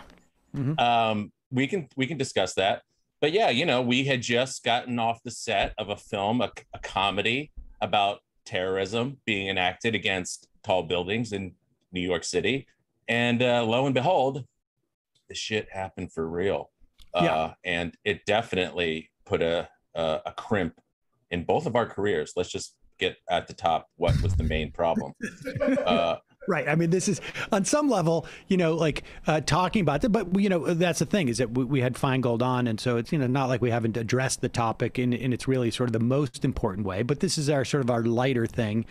I I can't help but think of of Sarah Silverman's joke uh, about 9/11, which, if I recall, was something to the effect, that, and this was you know sort of you know, the, uh, after 9-11 there was a big thing in comedy do you remember that like you know irony Yeah. is dead and when is it appropriate to talk about it Yeah. and sarah had a There's joke a- and i can't remember where she came when she came out with it but it was like i'm never going to forget 9-11 that's the day my boyfriend dumped me and Yeah. that was like that was in Jesus Is Magic yeah yeah And they just came out with a documentary. I don't know if you heard about it. I haven't seen it called uh, Too Soon. That basically is about interviewing comedians about how they got back into doing comedy after 9-11 and what that was, that whole scene was like. I think Maron may have been interviewed uh, for oh, it, I, but I didn't no i haven't heard about that but um yeah. I mean, listen, it's gallows humor is a very legitimate form of healing. I find it suits me. It worked for me at the time. I mean, at the time we were just, just completely just traumatized. It's the only word for it. Um, but as soon as we could find some way to, uh, you know, cope with the horrors, uh, I know I took it. So that's definitely uh, Yeah, uh, you made part, a- part of the process. Yeah. So we should just say for people who aren't from, familiar with what we're talking about, um, in in the in the in the winter of two thousand uh, one, somewhere around like I guess must have been about well, it was probably like in February March, actually. Um, uh, oh, okay. That no, it was it was after that actually. So um, I had done a character um, in the run up to the 2000 election. Um, A- A- Alan Lieberman, I think it was, and um, he was Joe- Arthur. huh? Don't make me have to remember your own character. Arthur No, you- Lieberman. No, Arthur was in the movie, but for some reason I changed Oh. it from Alan to Arthur. I don't know why. Oh, and I had done this character, Alan Lieberman, Al Lieberman, um, and it was, you know, one of my sort of like anti-comedy bits where Joe Lieberman's ne'er do well son would go up and try and do stand up. And I think at one point, like I went with Janeane to Syracuse University and I would set up the video cameras to shoot the audience as I would do this. And I would just come out and say, like, you know, you got to vote for my dad. And, um, and there was a whole story about how he was a, um, a tennis pro in West Palm Beach and was pushing it. And in fact, that night of the election, I called into um, the best show on FMU. It was very, very early. Um, I think that Tom Scharpling had launched that show. It was on a Tuesday night, was the election, obviously. And I was on the phone with him as Al Lieberman and basically developed the character there, uh, you know, in that moment, but also had been doing it as stand up. And when the the, the Supreme Court um, uh, decided, uh, you know, Bush v. Gore. I had a lot of trouble with that, and I ended up writing sort of a script that I had already had sort of laid out for a New York Liberation Front, I think it was, and, and intertwined it with this story, and it it was a weird it was a weird story. Uh, I don't you know it was a weird story, but it I involved it. it involved uh, Joe Lieberman's fictional son at the end firing a bazooka at a building in New York City. And After he was radicalized by the Orthodox Jewish postal workers, played by Jon Benjamin and Marc Maron. That's right. And they radicalized him by showing him like something that was basically an homage to the parallax view about terrorist attacks. And, you know, so you had postal workers uh, during the time of anthrax. You had a theater takeover, which happened in Russia. I don't know if people remembered that as well. All of this in there. And we did the uh, the the movie, and I I don't I think it was sort of it was a little bit of a mess. Um, you know, it, Some you know, production issues. we had production issues. It was hard, uh, but there was a lot of different people. Like Colbert had like a little part in it. I think that ended up being on the cutting room floor. But I mean, in the was a- DVD extras available at your website. and um, and so uh, we we did this, and I, that's how I met Matthew uh, Ray Carney, who was a professor up at BU. One of uh, Matthew's professors had liked uh, Who's the Caboose. I asked him if he knew any people. Sent me Matthew. Matthew was going to be my assistant. He wasn't actually my professor, but we had a relationship anyway. All right. Well, there you go. And Matthew was going to be my assistant, and because I was directing and acting, and to make sure that he was always around me, I also put him in the movie as my character's assistant, so that he could carry around the notes for the directing and make it look like he was carrying around the character's notes. Uh, that was the way I rolled back in those days, and um, we did the movie. Eight weeks into editing, um, it was 9/11, and So inconvenient. it was extremely inconvenient. There was a a a, uh the entity that had financed uh, Requiem for a Dream was financing the post production. I had financed the actual shooting from doing According to Jim, uh, a sitcom, and um, and they uh, had never seen the script, and so uh, they wanted they, they they called me at one point. They said, "Is this gonna?" Uh, impact your movie because they sort of knew the vague outlines. I'm like, oh, it could cut both ways, and it was, it was Uh, impossible to even imagine how anybody could watch this film at that point. Like, because it was about the muting of dissent, and it create, but it was all not. it, it was barely possible before, and then now, definitely. It was a really, it was a, it was a niche film prior to that, um, a and certain dark sense of humor. Yeah, they basically said like, um, and I told them I, I can't output it from the Avid until I pay the editor, who was not you at the time, No, I remember.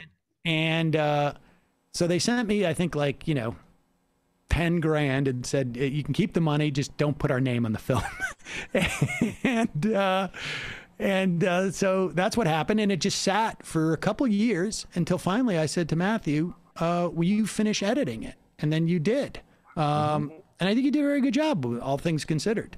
Thank you, Sam. And uh, I was very honored to uh, resurrect such a work of love, a labor of love, and something so potentially offensive to so many Americans in the Yes. wake of such a tragedy. Yes. But guess what?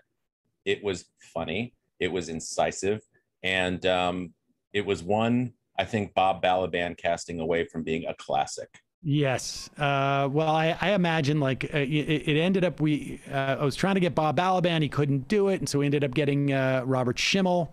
Rest I almost had Charlie Rose in it uh, until that last day. I mean, it's the story of the movie is much better than the movie, I think. But um, But still worth seeing and purchasing I don't know. I'm not, I'm not really pilotseasondvds.com. trying to push Right, it Sam? out that much. okay, But I'll help you. um, I know I can. But but and then Matthew, uh, you know, y- you had showed me a, a little short that you had made about 9/11, which was really also a little bit disturbing.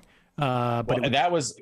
Can I just give us a little bit of background on that? That was actually commissioned by uh, two filmmakers who I'm huge uh, fans of and who I'd worked with uh, subsequently, Caveh Zahedi and Jay Rosenblatt. They made a, a compendium film called Underground Zero, where they reached out to a lot of uh, independent and underground filmmakers to make short reactions to 9/11.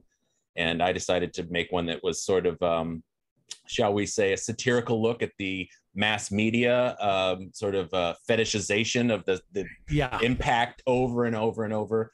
Uh, it went down uh, about as you could uh, understand it might at a few festivals. Uh, and it didn't actually make the cut for their release, but I still urge people to go out and check out Underground Zero, uh, a collection of really fine uh, short films. Not all of them funny, as you might imagine. Yeah, I mean, yours was, and you know, I just watched it, rewatched it uh, yesterday, and it it it it brought back how much they replayed those clips over and over, and in fact, for the first like five or ten years, like I, I don't know if MSNBC is uh, going to do it tomorrow, but th- like they for for years not only replayed clips of it, they replayed the two hours of coverage, starting with the moment that the plane set. Like they just ran it. Yeah. It And was it- that whole, you know, uh, feedback loop. It looked like a movie, and then it sort of became a movie, and then it was on TV, and it was exploited for its sort of sensational value. It was, it was a mind fuck, in a word. It was. I mean, I you know, and and, and it's hard. You know, I, I think everybody experienced it obviously differently. You know, maybe to some extent uh, where you are. I mean, right? Like you know, how do you how do you contextualize your experience of something like this? Um, but um, you know, I, I, re- remember that entire morning very explicitly. I, I got up, got into the, uh, was listening to Howard Stern. Somebody, uh, Howard Stern was reporting that there was like a small plane that had landed into the uh, the trade center. They were like, you know, and they were sort of no, like joking around about it, but they were, you know, it was like, oh, you know, that guy, blah blah. And then, as I got out of the shower, I think it was somebody had called in and said, Howard, I saw that was not a small plane. I saw one of the the wheels, and it was a massive plane. It was like a 747. And then things started getting a little bit weird. And I, I went up onto the roof of my building, which was on uh, 29th and Park South at that time. And um, I'm pretty sure I have video of the explosion of the second one uh, coming out the. I've never looked at that tape wow. again Oh wow. and uh, came down and my uh, then at that time my my girlfriend who then ultimately became my wife and then ultimately my ex-wife um, uh, she called me because she was on Seventh Avenue. She lived right on Seventh Avenue and heard the the explosion. Came up. Jon Benjamin, who lived down below um, Canal, uh, within you know several blocks, came up because he was trying to get out of there. Um, and then we went to uh, went downtown at that night because it was Eric Slovin's birthday. Who is the executive? dir- He's the executive producer of uh, what was it of of two of of Broad City, right?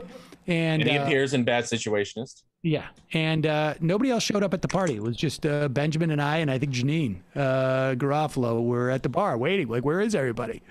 And uh, but then they they cordoned off. You couldn't go below Houston, uh, or yeah, Houston, I think it was, uh, for for weeks unless you had proof that you lived down there. And I went down with Benjamin the next day on the twelfth.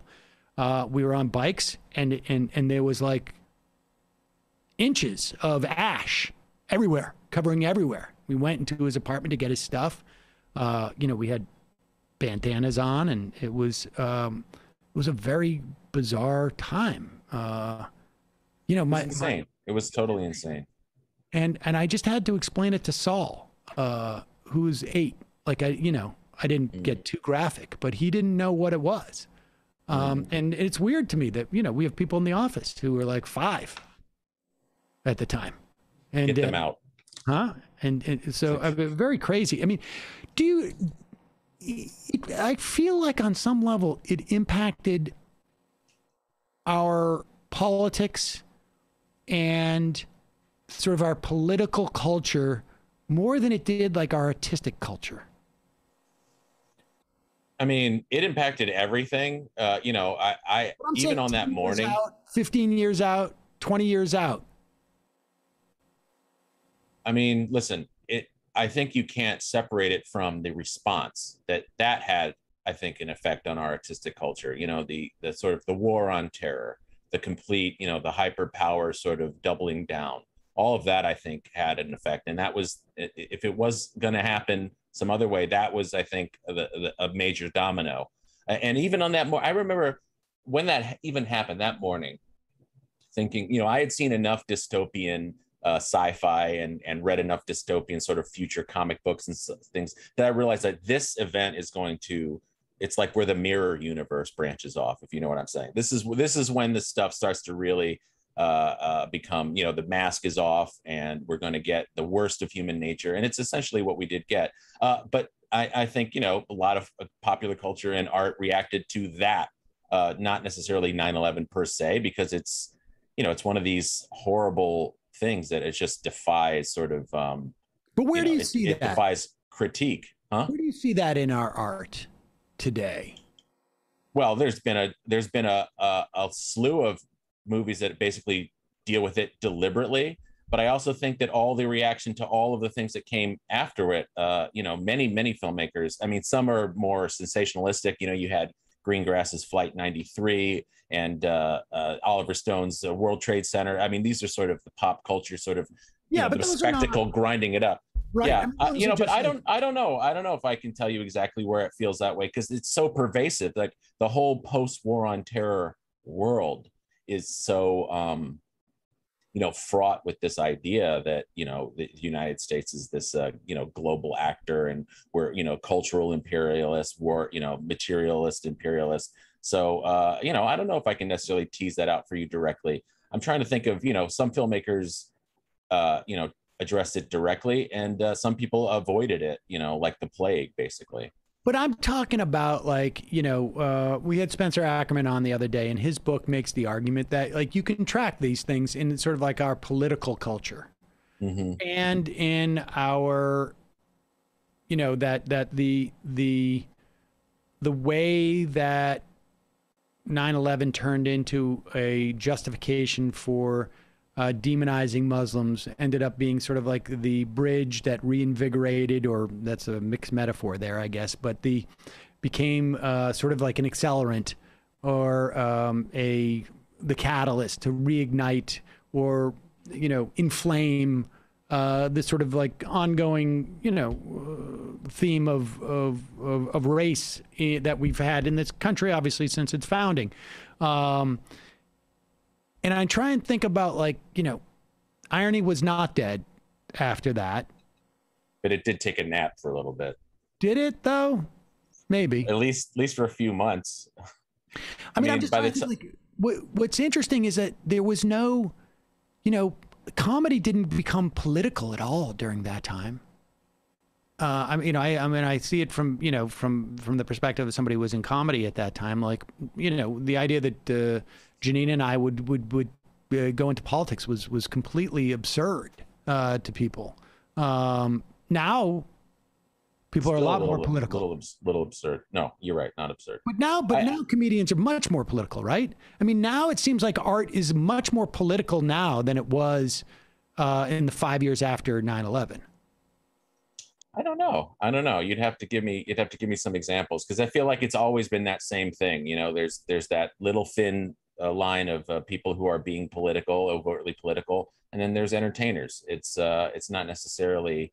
I don't know if it got any more or less. I mean, you know, you have some musical responses, but unfortunately, I feel like the worst effect of it is that you know, eh, to quote Guy Debord, the spectacle just absorbed that that all that stuff. So now we have like action movies like uh you know Cloverfield or or the Greengrass movie that basically used the uh the, the resonance of that moment just to make entertainment. So I you know I don't know I'm I'm struggling to think of a, a great example of how that that is true, Sam. Of where of of of yeah, yeah, that people became more political. I mean, listen, I went on the Iraq War March. I did, you know, I all that stuff that bounced. people that, did that become sort of- more political. That was sort of the weird thing about it. It- it- yeah it's because it's because listen we're in late stage uh you know spectacle uh triumphant. Like it's it's become harder and harder. And this is what you you know you work towards this every day is trying to reinstill a sense of collective possibility and a, a sense of actual of people is individuals having an effect on their society.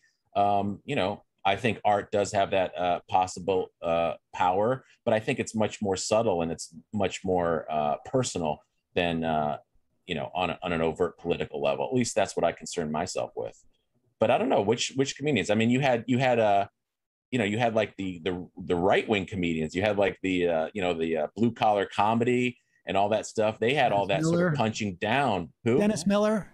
Dennis Miller. Yeah, you had you had the sort of I mean, reactionary. this comes up too. every now and then. It hasn't come up in a couple of years, but I want people to understand this. I have a Dennis Miller doll in this office, I know. I, I sold a few on eBay. Remember? and like I like literally, it would say stuff about uh, like I don't I don't know if it's around anymore. You could press the button and it would talk, and it would say stuff. It would like mock the French because they were hesitant to attack Iraq. But this is Some how Palestinian jokes. Is there a better? Yeah, exactly. Is there a better example of of how dystopian things were after 9/11 that Dennis Miller was elevated to some type of right-wing hero so much so that they literally made an action figure with him and the dolls that were available Cheney, Rumsfeld, Bush, the Pope, Ann Coulter, and uh, Dennis Miller. I kid you Yeah. not. I mean, look at the, all the other pop culture things that came out. Like, um, uh, what's the with the Kiefer Sutherland uh, terrorism show? Right. Uh, uh, you know, 24. it's it, it, the machine just kept churning. Actually, I think I think the best the I best guess, humor. things- I, I guess the culture just sort of actually, to the extent that you could measure the culture, the culture got more right wing. that's how I see it. I mean, I, I feel like it's a it's been on a trajectory ever since the '60s. The sort of cultural, you know, pendulum. Um, I I hope this generation moves it back the other way. I hope we get some of that stuff, but I uh, think that is happening. Don't you, though? I don't know, Sam. You're much more in touch with the pulse of the youth of today. You tell me. I, I mean, I know you're being facetious, but I'm saying, like, I think, I definitely think so. I mean, I think that the culture is, uh, I mean, I don't necessarily know if I would, I mean, well, yeah, I mean, look at, look at the, the, the, the, the shows that we have, you know, like, I don't know, Succession or, um, you know, uh, what was that, uh, White, uh, Rose or what, what White Well, Lotus. White Lotus. Or I like mean, the I hear that's very um, good. The Bo Burnham new stand-up comedy special, which is kind of just sounds. I haven't watched it, but it sounds like him just going on political rants, talking about neoliberalism and stuff. Oh, like that. there's a ton of that, though. I Is mean, it? there's a ton of politicization. I think part of that was um, was was maybe Trump, but I think part of it was also sort of like some type of backlash and and sort of feeling that you know maybe Obama didn't you know provide the sort of the the the, the I don't know the the re, regeneration that he was supposed to. I'm also thinking of our favorite show, Battlestar Galactica. They took a lot of pains to uh, instill a sort of. I That's mean, it was much. Again, That it was that secondary thing. That Iraq basically was its impetus. That's right, actually, and that was that was quite early. But see, this is the problem I always run into with these things. It's like if it's popular entertainment or it's art, right, and you're trying to instill this sort of political message, to what extent does the political message have to become so neutered and so sort of basic that it doesn't have any effect after a while? You just you is it worse to give the impression that you're getting a political message so you go back to bed and you say, "Oh, I'm I'm woke, I know what's up," and then it doesn't actually affect any change. You know, it's that's the tricky yeah. line you have to walk. There's this reality show um, that's like who's going to be the next great American activist or something like that, and it's going to be judged by like a panel Jesus. of. Uh, yeah, CBS. Yeah. Yeah, I mean, somebody just said I five. Comedy didn't become uh, political after 9 11. Of course it did. You remember borderline fascist and racist like the media. I remember Achmed, the dead terrorist. I mean, that's actually right. Actually. yeah, the It's like puppet guy. exactly Yeah, that's We had um, that's those two uh, Trey, uh, you know, Parker, uh, those two um, libertarians who did South Park. Um, they did that, uh, you know, America thing that, you know, blew up Janine. Team and, and- yeah. Team America, which was um, right wing Jeff Dunham. Yeah, no, I, I now that I think about it, I guess maybe I blocked it out because the culture had actually become much more right wing. Sad but true. I mean, look, the real artists are always going to be on the margins, always doing something that the popular culture isn't ready for. Um, that never changes, really. Uh, eventually, sometimes, you know, sometimes they move into the center and are feted and are are appreciated. Sometimes that way after their deaths. So I don't think we should expect anything else. Uh, it's just it's on us to go digging if we're if we're so motivated. And you know, come join my film appreciation class, and I'll show you multiple films where hopefully something of value is being said that is not on the mainstream radar. Well, with that, I actually, uh, well, I just want to say what, what the main joke I recall, and it was uh, at some point I was shooting videos for uh, Todd Barry and Benjamin and Cross's uh, Tinkle, and they were discussing how they were going to go give, uh, I think, a entertainment night nightlife award or something to Todd Barry. I don't know if you were, were at this, um, but they were discussing their speech, and they decided that they were going to go up and just say, uh, this was like two years later on the morning of September 11th, our world was changed forever. And the award for best comedian for the nightlife of 2003 is Todd Barry. Uh, just to me is a perfect way because what do you how do you there's like you just you have to just recognize that we can laugh at it uh, otherwise you'll go completely insane and i definitely another thing i want to mention about that morning uh, is that I got a call from my father. I was woken up by my roommate when the second plane hit. He's like, "This is some real stuff." So what was that like nine something? Much too early for me to normally get up. But uh, we turned on the TV and it was just like insanity. And I got a call from my father, and he said to me on that same day, like literally Osama bin Laden. So it was already in the zeitgeist that you know the Muslim terrorists, the Islamic terrorists were you know, it's like the story was already there. You know, we had already had we had the USS Cole. We obviously had the bombing in '93. It What? was but but people thought um, the Oklahoma federal building, the first thing Right. people to do was also was was uh, you know the Yeah. Islamic terrorism. so. I'm just saying it sort of it already fit into a you know we already had our way our lens of looking at it. It just so happens it possibly was uh, you know uh, Islamic terrorism. Uh, I say possibly because I don't want to get added by the loose change people. But uh, it's the you know uh, it was just so obvious to to even the sort of cursory uh, cursorily invest invested people in politics. Uh, it just it was a hard. I don't know. It just it just speaks to the the, the state of where people were at even even then before that. Um, when you're talking about what, where the culture was going. Yeah, yeah. It, it just it wasn't. It just didn't seem as um, I don't know. It, uh, it it didn't seem as as prominent. But yes, there was there was that narrative was there. And Uh, I didn't personally go down below Canal Street for I think like five years. Uh, honestly, I think even when I went to Zuccotti Park in 2011, it was the first time I had really like been down there Wow. because of how because I, I was at the time temping right near there at the American Express building, so I could have been there uh, uh, at that time doing doing some office work. You know, um, so that I- building had a lot of shattered uh, glass, and um, um, in fact, that's I think where one of the principals from that um, that film company that was providing me the funds they lived at, like Oh, right really? building. Yeah.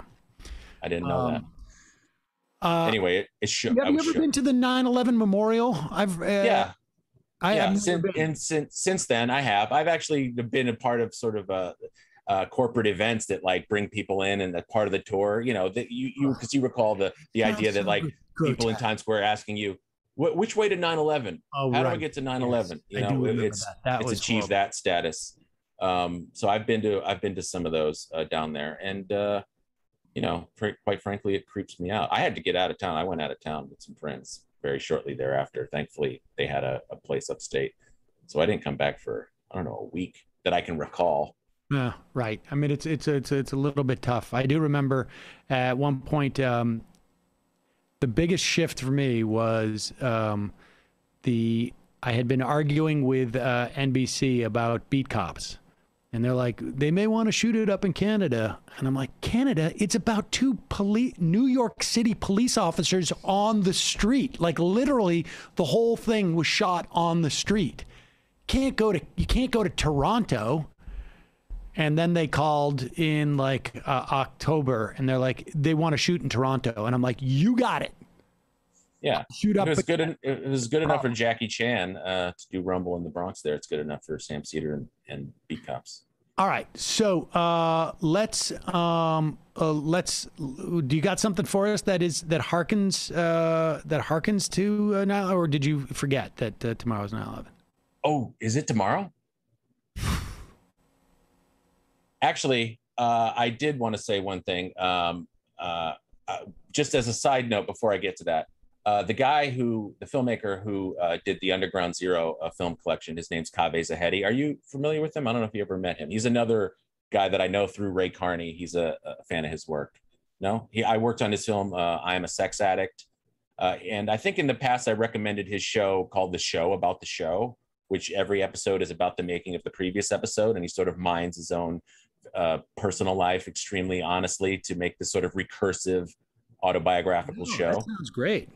It's incredible. It also ruined his marriage, uh, which was probably on the rocks anyway. But it's all in the film. It's all in the show.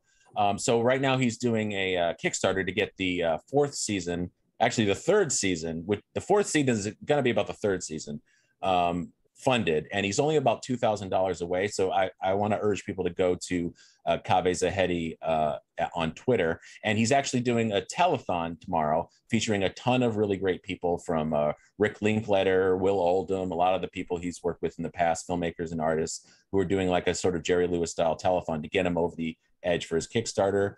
And uh, I just want to boost the signal on that a little bit. Caveh Zahedi, Z A H E D I, and his first name's Caveh, C A V E H. But anyway, We'll put Great that in guy. descriptions. a willing uh, uh, subject to mind his life, his personal life, and it's the, the show is. It's like you can't look away. It's so compelling, and uh, he believes in radical honesty, total honesty, and I believe that is what led to his divorce. But um, this is uh, I just I just wanted Is, to. is that is that is that covered in the show? Oh yes, it is. Interesting. Very, very much so. Um, and sometimes when he couldn't get people to like recreate what happened, he would hire actors to play them. So at a certain point, his wife uh, decided she's not going to be in it anymore. So he got an actress to play his wife. It's, Oh my you, God. it- you, you've got to see it. It's it's extremely unique and extremely compelling. Um, and uh, he's the guy's a genius. I guess Um, once you go through the divorce, y- y- if, if it causes the divorce, you're at that point like I gotta I gotta keep doing this show. Like I've like you know, the the the uh, the, the the sunk costs are just too high. basically yeah. But all of his films his whole life has been very autobiographical. So this is sort of just like the uh the the, the sort of the apotheosis of, of his his sort of style. Um but in any case i just wanted to plug that real quick for him. Um so the movie that i actually want to pick today is actually something that he reminded me of uh, he just came out with an article. He's doing a lot of press for this uh, uh, fundraiser. And uh, he listed some of his favorite films. And it's also one of my favorite films. And it's called wax or the discovery of television among the bees. And it's an early 90s shot on basically uh, analog video using some of the very early i want to say not video toaster slightly more professional but like video effects. And it is a mind-bending kind of trip of a film uh, about the sort of um, I don't know the the liminal world, the world of the dead, mixed with a lot of military industrial complex. Uh, he's like a designer of uh, targeting systems for weapons, but the bees start to talk to him, and he's uh, channeling the spirit of his dead grandfather who gave him the bees. It's it defies uh, a description. It is one of the most unique. Uh, films ever made, and it is actually available. The filmmaker's name is David Blair. It's actually available for free on his website along with which I haven't seen yet, his sequel uh, mini series, I guess, uh, and it's at waxweb.org. Um, but if anybody's yeah wants to check that out, I, I can't recommend it any more highly. It's definitely a uh, just give into it, let it rewire your brain, just take off. Uh, it's got so many different threads, so many different themes. The visuals are extremely creative. It's sort of almost got an experimental film quality to it, even though it's sort of this narrative, this very personal voiceover driven uh, narrative film. But um, it's it's unheralded uh, as to the extent that people know about it, but it is definitely, I think, a masterpiece. Wait. Wax. I'm at Wax Web, and it says episode zero, and it looks like it's 26 minutes long. Is that what I'm looking at? Yeah, no, that is the um I'll send you the link. It's on his Vimeo page too. If you go to David Blair's Vimeo, hit that link.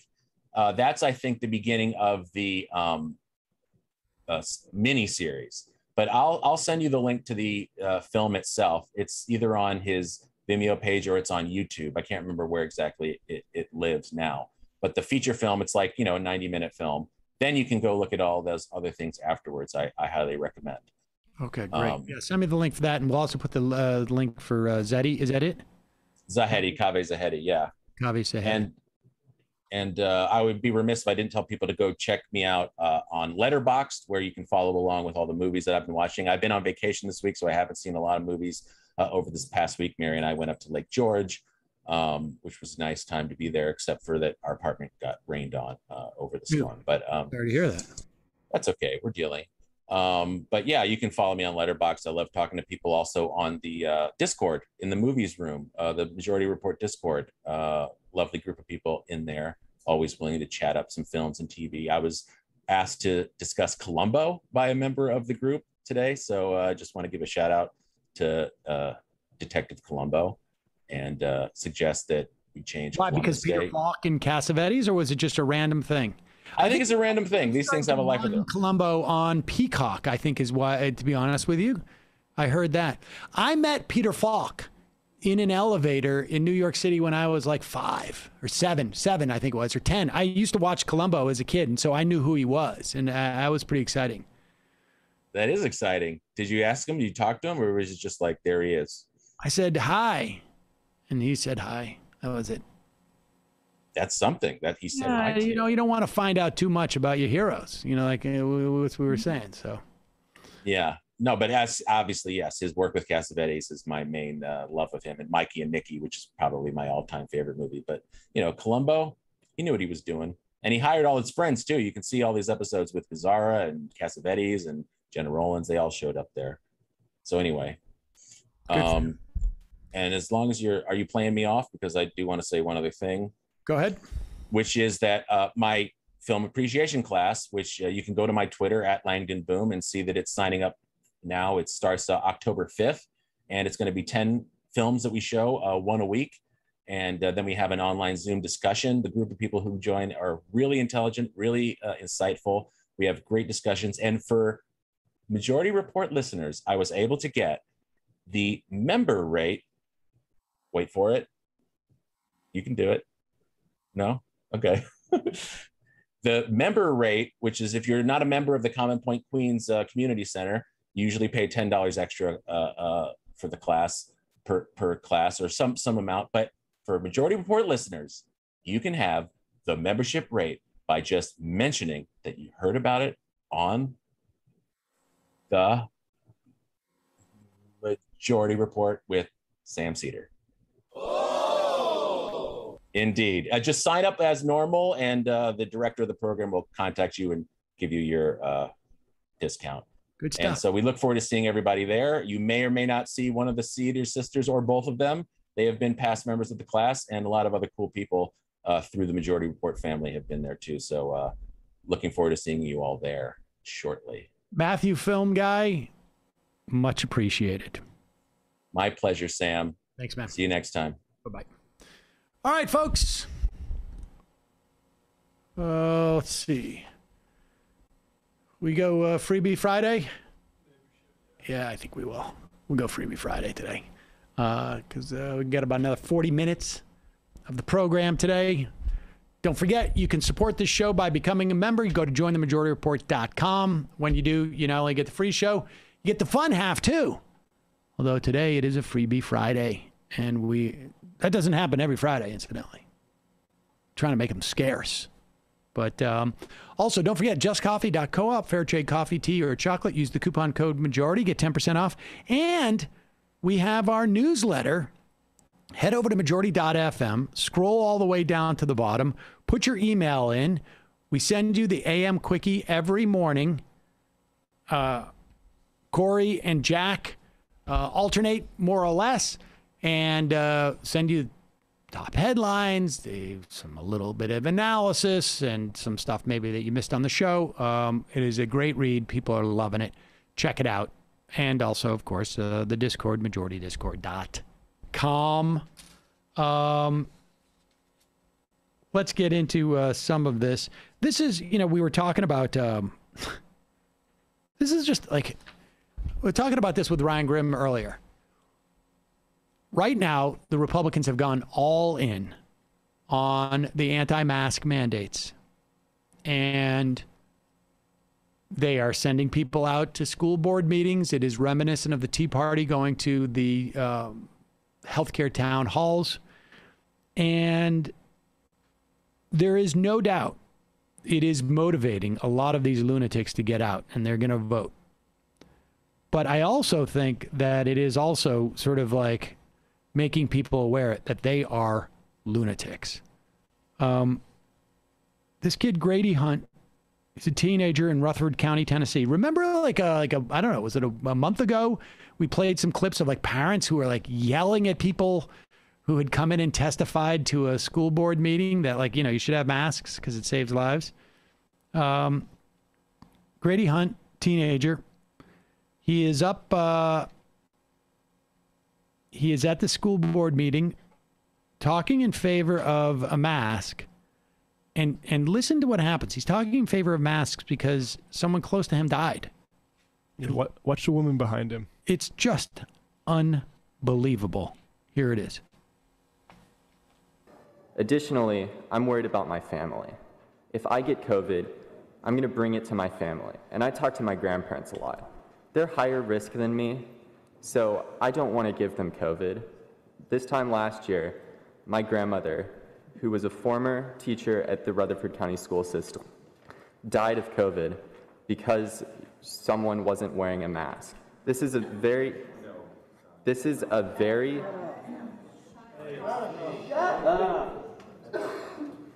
This is a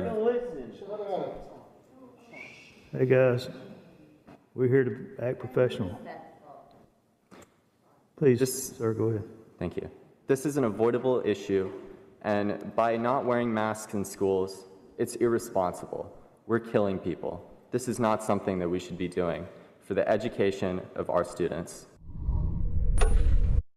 Uh, there you can see the uh, video produced by uh, Newsweek. There, I guess they're just pulling it from a. Um, you got people laughing at this guy, and women just like, oh, this kid. He just said his grandmother died.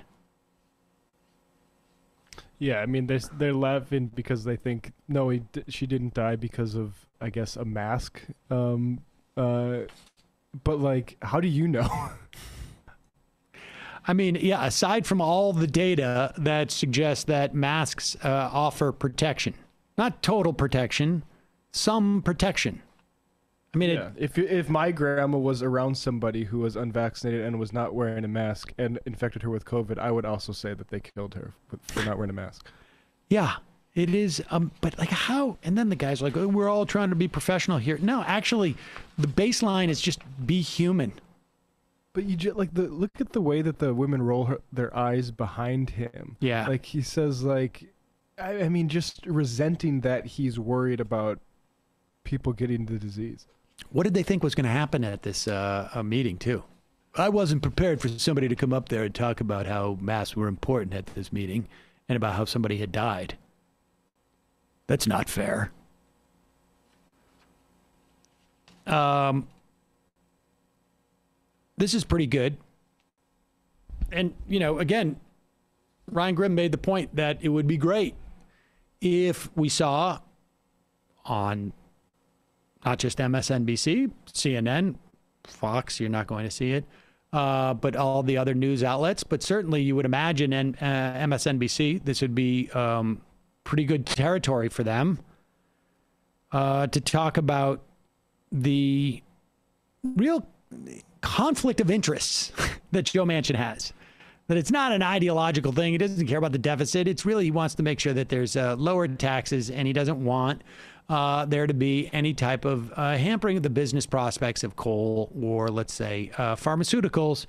Um, at the very least, we get uh, Katie Porter, Katie Porter, on with uh, Stephanie Ruhle, calling out Joe Manchin and um, other um, so-called centrist Democrats.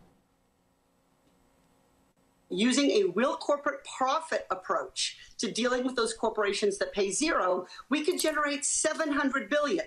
If we use the corporate minimum tax approach, we're going to generate 40 billion. Right there, right there, Senator Manchin, right there, anyone who's worried about spending, we can generate the revenue so that this isn't about 3.5 trillion in spending. It's not even now about 3.5 trillion in spending because we're going to generate the revenue to pay for these things. I have the will to do it. The question is, does Senator Manchin, or is he more concerned about his corporate donors, including large corporations, the oil and gas industry, the big pharmaceutical industry, and others who are getting away with paying nothing under our current tax system? So, in other words, what we're seeing here is just like they're calling a Manchin's bluff. If you're really worried about the deficit, let's raise some taxes. But of course, this is exactly what Manchin wants to avoid: is raising taxes. He doesn't care about the spending side. It's just a, it is just a, uh, mechanism in which to um, deflect from the fact that he's trying to avoid raising taxes on wealthy people, on corporations, on industries that he's associated with. I mean, that's basically it. Bottom line, um, we don't need we don't need the the revenue from taxes to pay for these things. Uh, we have the ability to literally print money. Um, but there's a lot of value in taxing uh, these these entities and wealthy people for the sake of of of income inequality, of wealth inequality in this country. Uh, and if it has the added bonus of uh, putting Joe Manchin in a tight spot, um, uh, more power, more power to those uh, revenue raisers.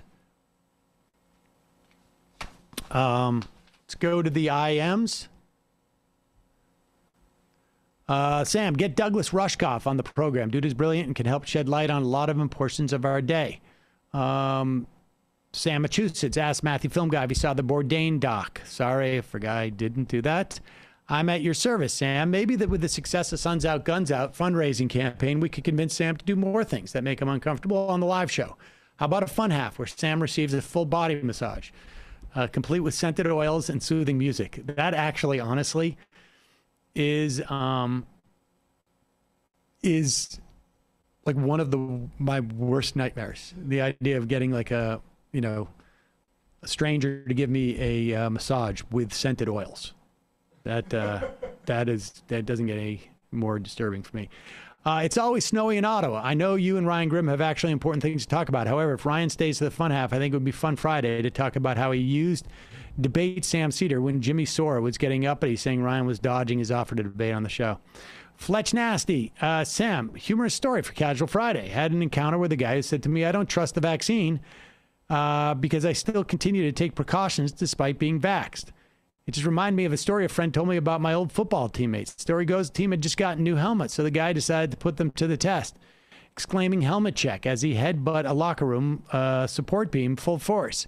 He immediately got a concussion to the surprise of nobody. He's fine now, except he doesn't remember what happened. The moral of the story is just because something is supposed to protect you doesn't mean it always will. Happy Friday, MR crew. Uh, Clown Shoe Mike, that reply to Starnes on Twitter was hilarious. Uh, Cower with Crowder. How has no journalist responded to Tucker Carlson's "What is your favorite sexual position?"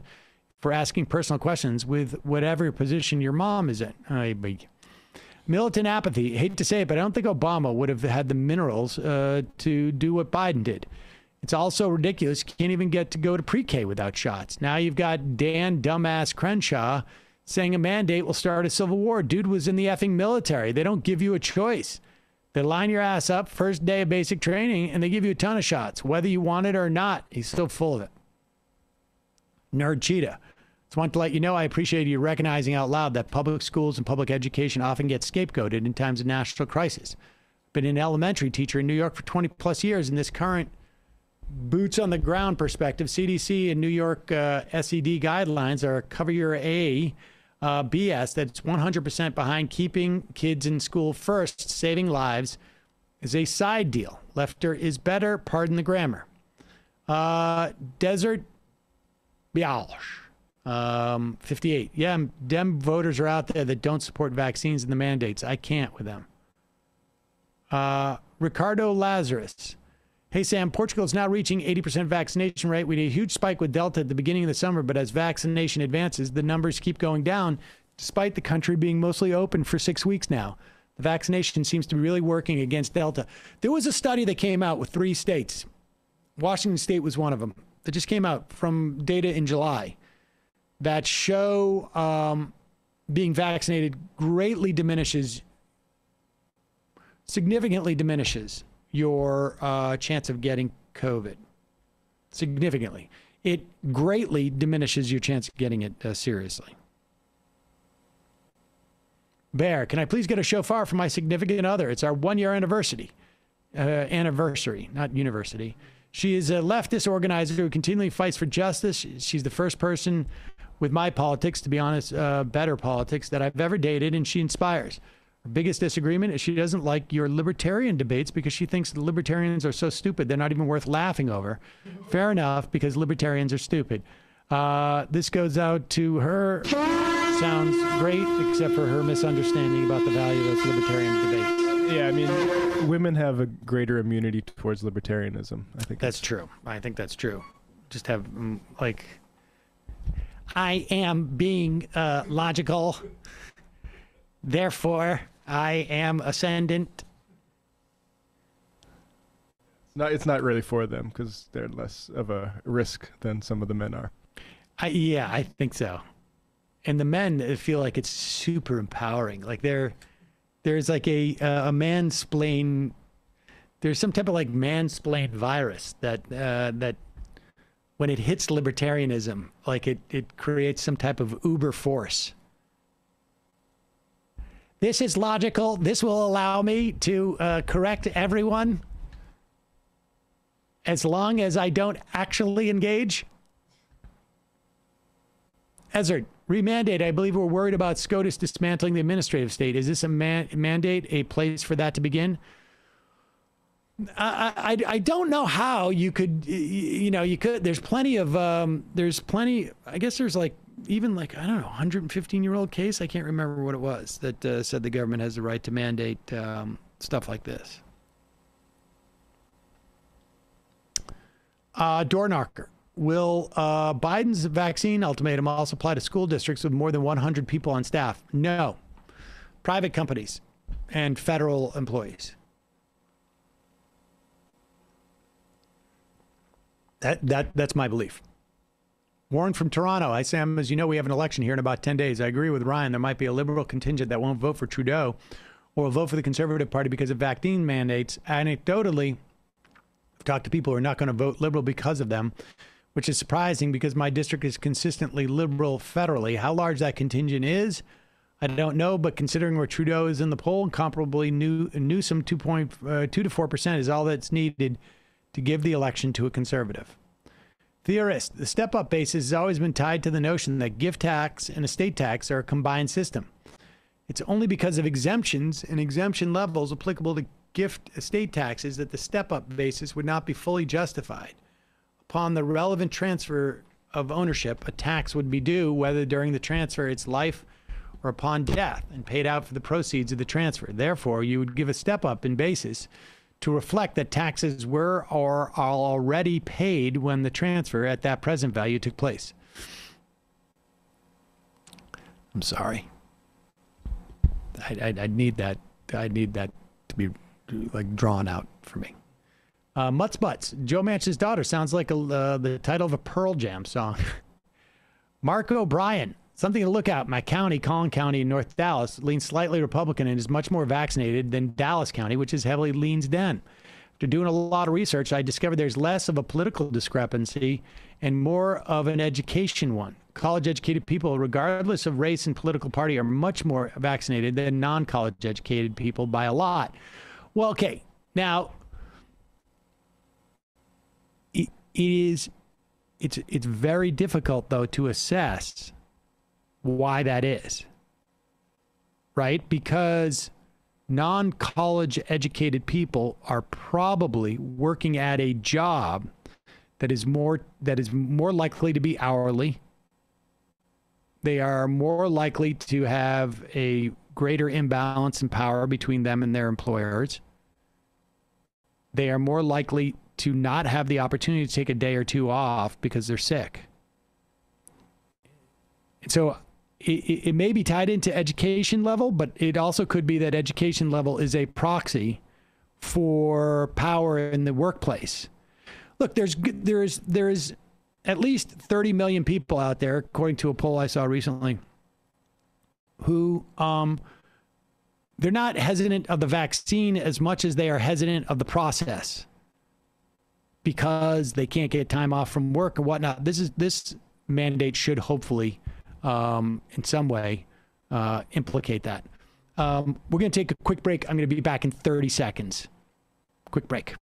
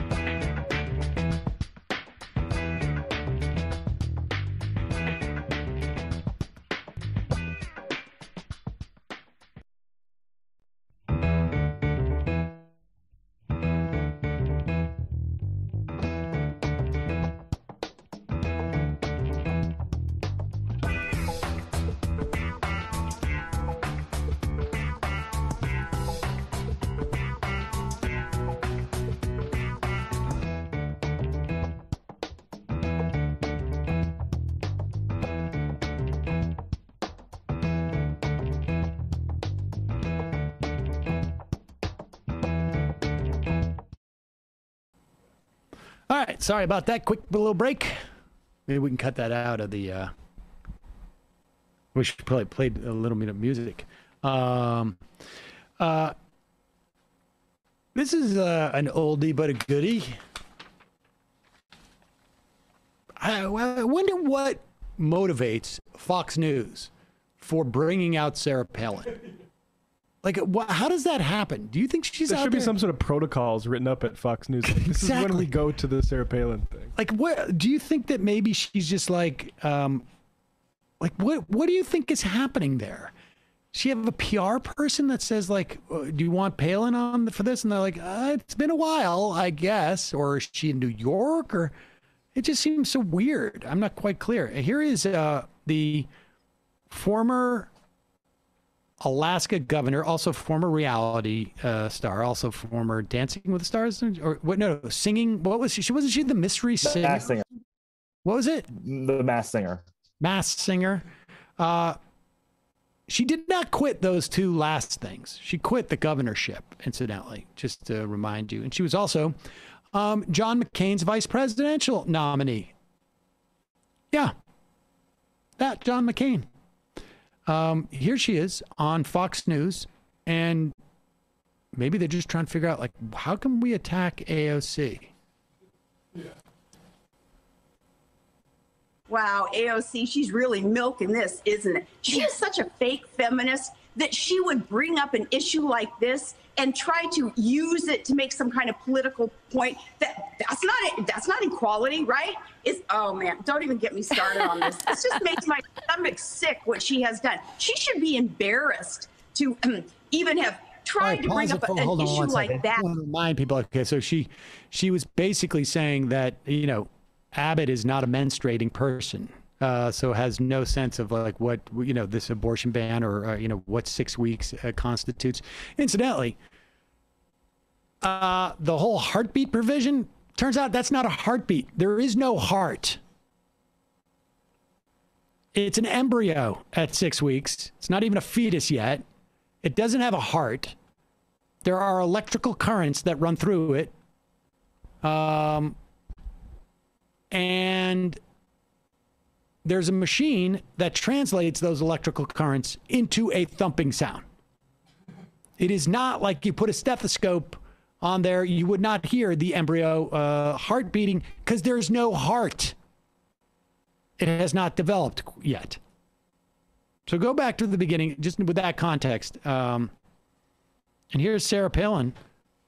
She's the true feminist, and and so this is like, this is for those people who watch Fox, who want to make sure that they're inoculated from saying that you're a misogynist, and because because they can look at uh, and crap all over AOC and say like I'm not a misogynist, I I'm I'm a feminist. Just uh, that's why I love Sarah Palin so much. Wow, AOC, she's really milking this, isn't it? She is such a fake feminist that she would bring up an issue like this and try to use it to make some kind of political point. That that's not it that's not equality, right? It's oh man, don't even get me started on this. This just makes my stomach sick what she has done. She should be embarrassed to even have tried to bring up a- an issue like that and make her political point. She's so off base politically, but off base even in um, this analogy or whatever it is that she's throwing out there. She's she's milking the whole female thing, and as a real feminist, I'm embarrassed for her. Why you know I, I get where did the idea of milking something come from? Yeah, she got the. She said like the same thing, but like same like three things over and over again. Let's just uh, be clear here. Um, Sarah Palin's been out of politics for 11 years. Sarah Palin, were it not for her being chosen by John McCain, who was afraid of some type of uh, essentially revolt at the Republican National Convention, Sarah Palin would would just be uh, barely a footnote. So when we talk about milking, Milking the whole female thing. milking the female thing, milking the I mean, she's been milking that nomination to vice presidency for 13 years. More. That's a that is a that is one one like full udder of milk to have been milked for that long. It's hard to watch someone struggle to speak that much too. Like she knows she can't. She's not saying anything at all. She, yeah, she's milking this whole feminist thing, and as a fake feminist, I just think it's bad that she would try to use this issue to make a political point, and that's not quality. What do you? What? Let's just play this one more time because it's always fun to listen to the words salad.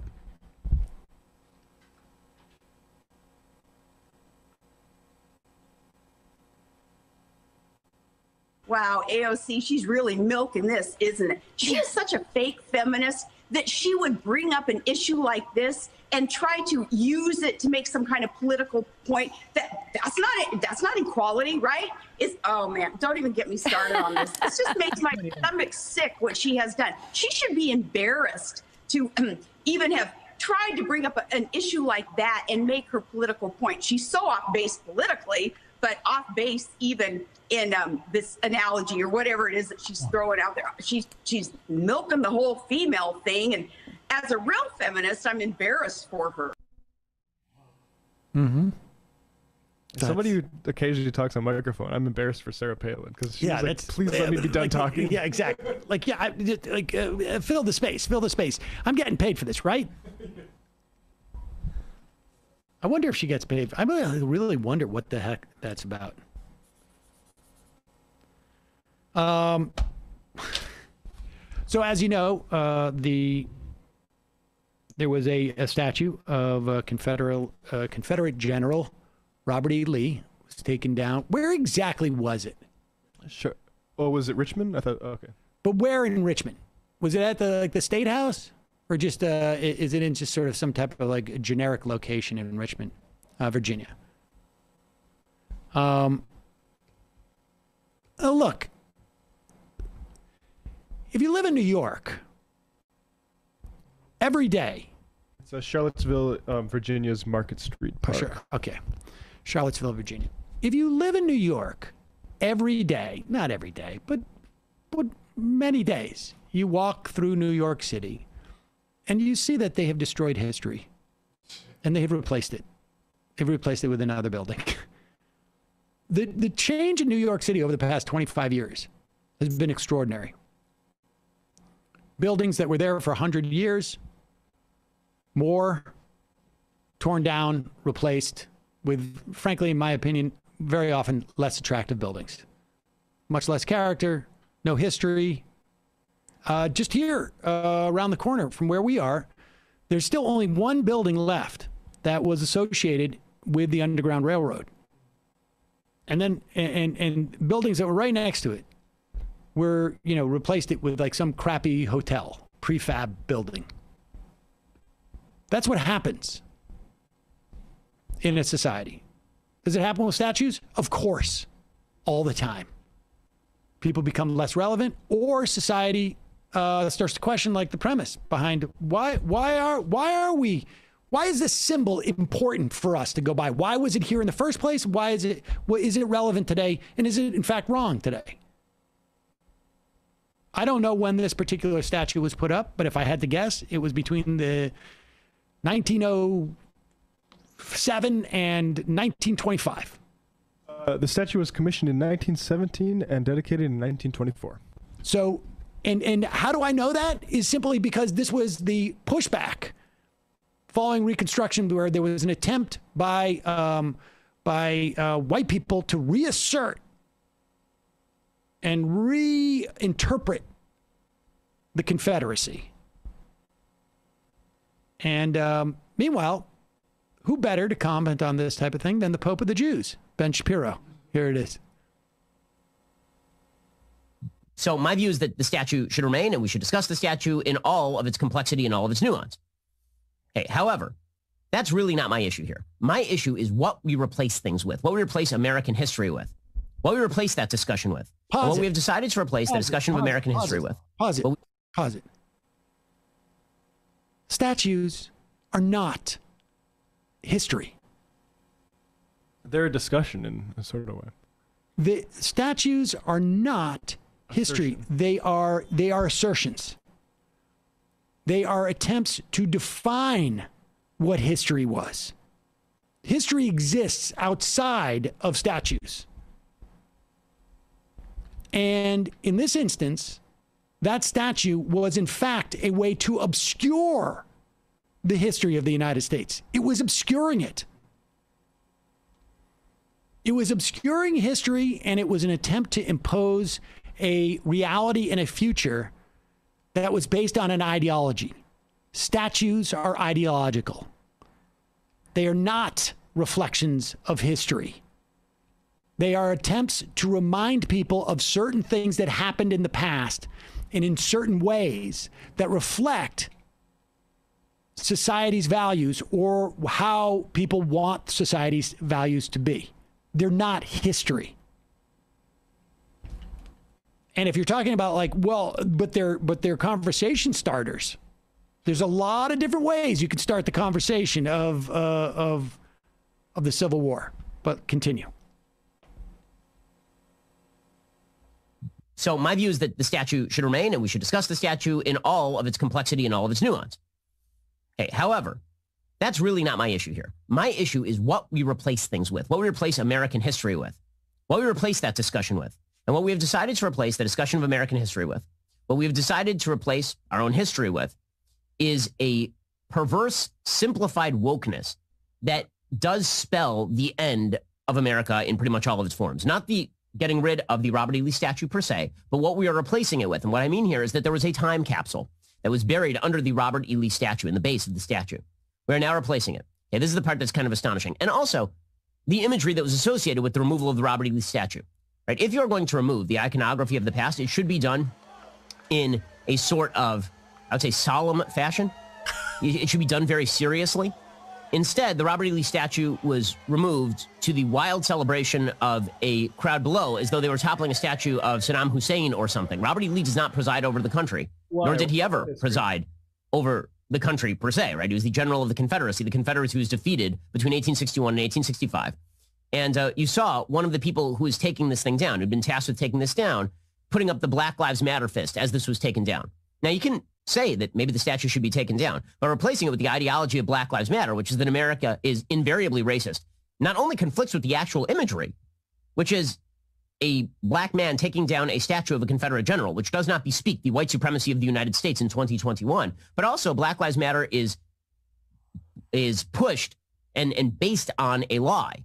The lie that black Americans are immutably stricken by the American systems of power. That it's, it's the same sort of rationale as critical race theory, Black Lives Matter. And if you're a black person in America, you live with the boot of America on your throat all day long. That obviously is not true. I mean, we're literally taking down statues right now, right, that offend people. But that sort of imagery is telling. Stop, stop. But is it like, yeah, first off, I can't. This feels like one of those days where it's like I didn't do my homework and I'm coming in and I'm just rambling. He is arguing that the fact that there's a guy giving the Black Power uh, sign is an indication of that we are not immutably subject to white supremacy, which I would agree is the case. But in fact, it is achieving exactly what you say you're implying should be achieved and can be achieved in America. Well, this is it, man. It's happening. Like, and it's is it is it is the job done? No. Uh, but they're we're doing a little bit of cleanup right now. It's funny that he brings up the Saddam instance himself because that's exactly what these things are. Like totally, these are just like really old Saddam statues, except to Confederates. Exactly. Exactly. And um, the, the- taking it down is in fact a um, is a small, tiny step towards both acknowledging that the values that raised that statue were wrong, that the statue's continued existence imparts values that we as a society have evolved past. We haven't necessarily reached uh, full evolvement yet. And then, you know, like I saw somebody on Twitter, uh, I can't remember which right winger it was, like, name one policy that's improved from this.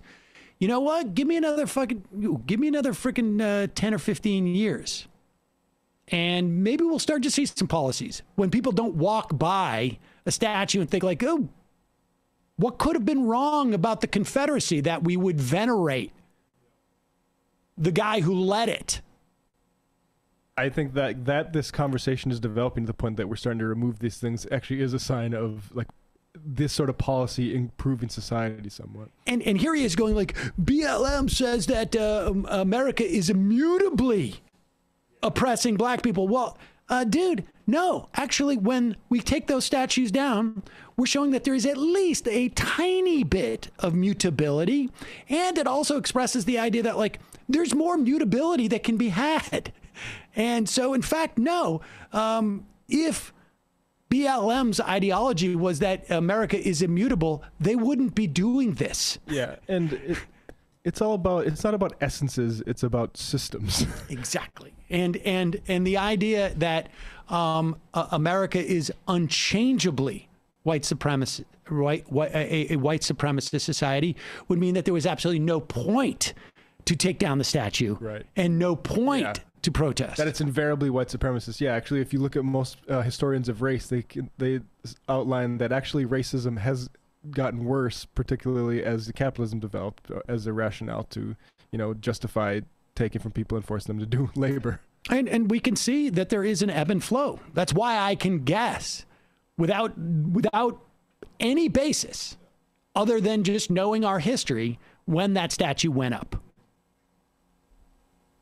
They'd rather turn it into like that sort of philosophical about immutably uh, immutable oppression rather than just a historical one about who put these up and for what. Exactly. It just sounds to me like he hadn't done his homework that day and was just trying to come up with something. Is there anything more to that? That's it, right? Uh, lastly, speaking about uh, not doing any of your homework. So apparently, Steven Crowder is still alive. Um, he made it through his um, his rebounding from our non-debate. Um, fine. and uh, how do you how do you uh, rebound from that when you've got to? I mean, let, let's just understand that like Crowder is um, there's you know he understands the YouTube business, streaming business in a way that I think I may never understand, right? And I will say, like, um, you know, my experience with that that that whole debate scenario where Ethan Klein brought me on, Ethan Klein understands that business too, because we were supposed to go on I was supposed to crash that debate, and the debate was supposed to happen a week before it ultimately did. Crowder canceled at the last minute because we had ended our show early. And Ethan was like, he's watching your show because he's afraid that you're going to actually come on in this thing. And remember that when he said that to us? And I'm like, no way, dude. That can't be. That would be nuts. And then, in fact, Crowder admitted it during the debate. So, in an attempt to own you somehow. Well, yeah, he he, uh, he he was he understood the mechanisms much more than he could actually sort of break it down and, and react to it. Yeah. But my point is, when he looks, he comes back from his vacation or you know his uh, medical treatment to deal with a bruised ego. He looks at his numbers and they're down. When we take a vacation, the numbers go down. So Crowder's saying to himself, How am I going to raise my numbers? How am I going to get my people back?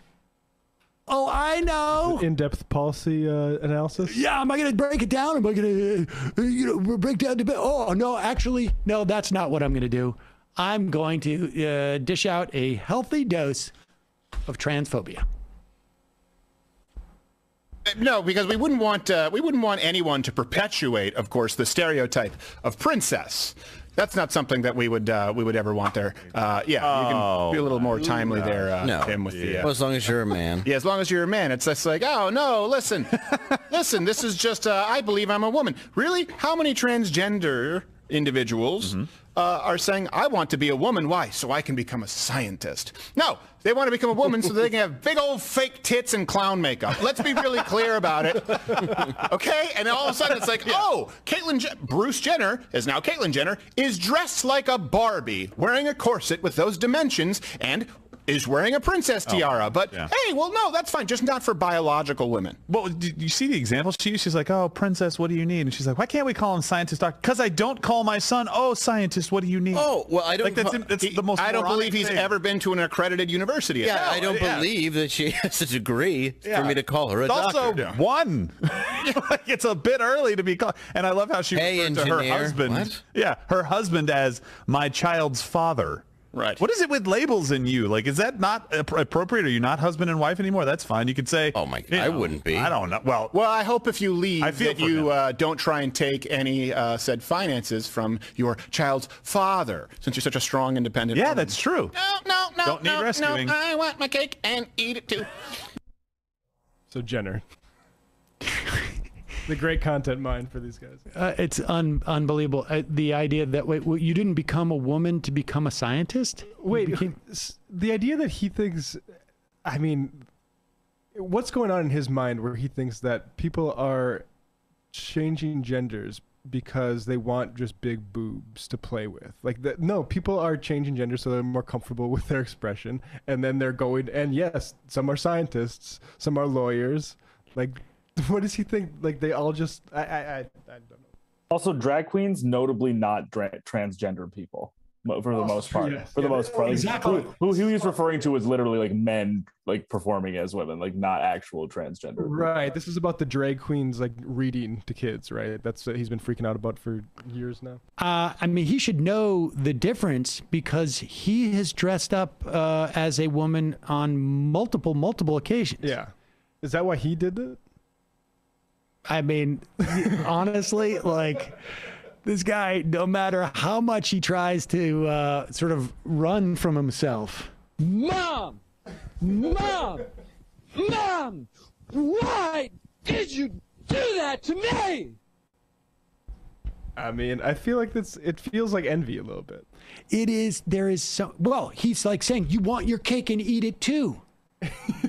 Some of us can't have our cake or eat it.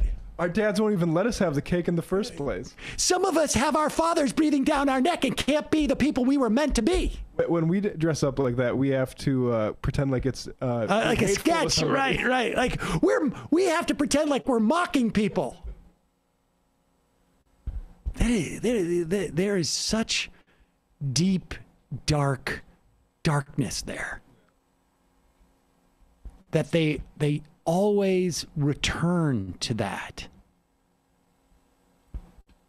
Like, I mean, you just like contemplate, like, what what is the impact of transgenderism in our society? Like, what measurable impact to people other than who are transgender really is there? They act like they're coming for him. I mean, think about like what has taken place just over the past, I don't know, like five weeks.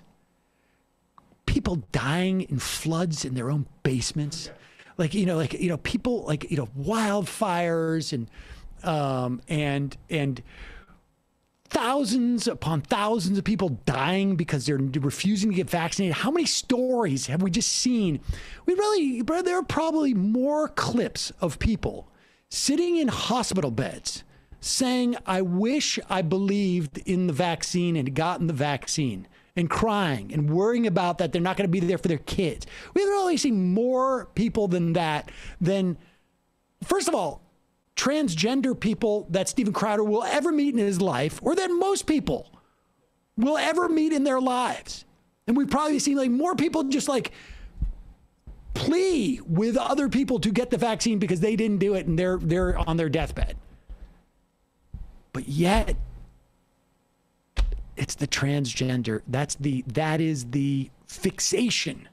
It's really, I mean, you know, and I'm trying to get into the head of like, you know, somebody who has sees this as a problem. Like all the things you have to, you know, it's like it's like all the things you have to drive by on your drive on your drive to the to the gender. Some conservatives are still talking about Afghanistan. You know, there's certain things like uh, big boy topics you could be talking about. But this is like this is why Shapiro loves whenever like an athlete says they're doing dealing with a mental health issue because they can just jump with both feet into like mocking that person, uh, so they don't have to talk about you know um, the other things that are less useful to talk about. This is like honestly, they're doing doing a show for like sixth graders, sixth graders who have been, you know, like sort of sheltered and, and sort of prevented from.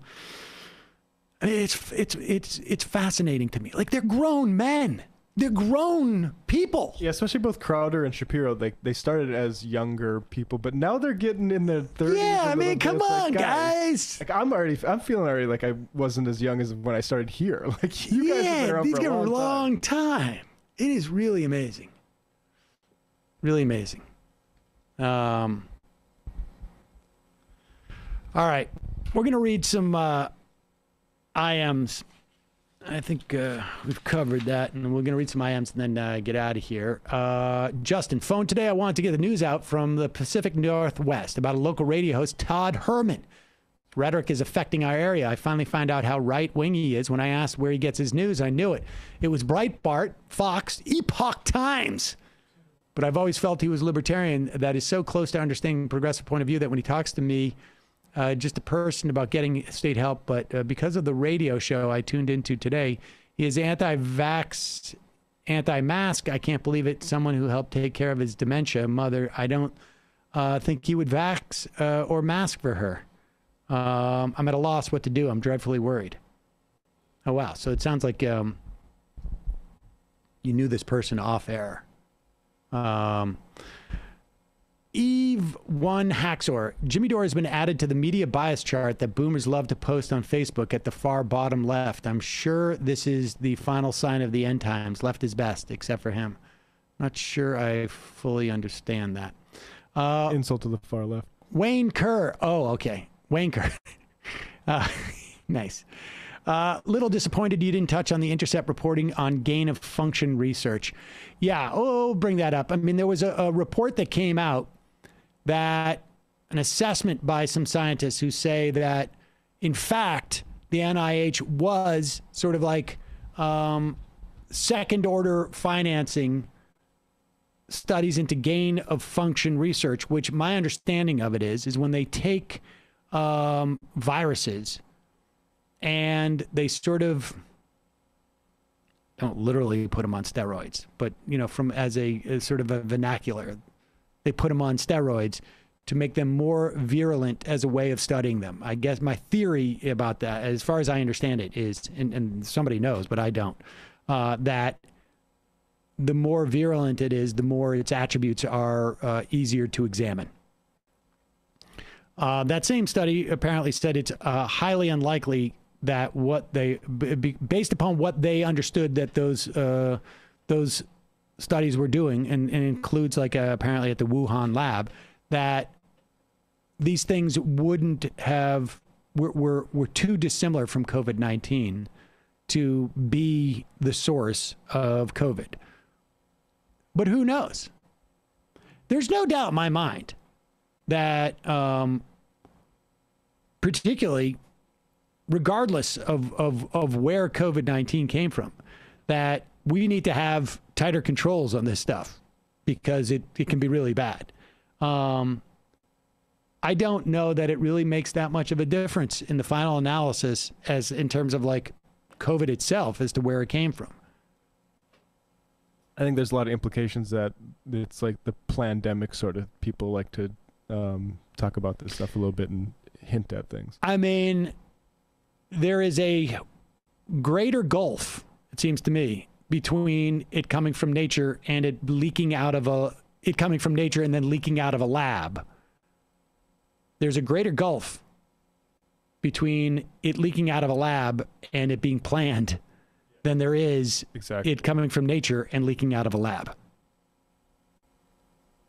Gagagool. I was in D.C. 20 years ago. The people showed up in to ineffectual protests against Supreme Court's Bush v. Gore decision in 2000 are the same folks who showed up to ineffectual marches against the Iraq War in 2003. Um,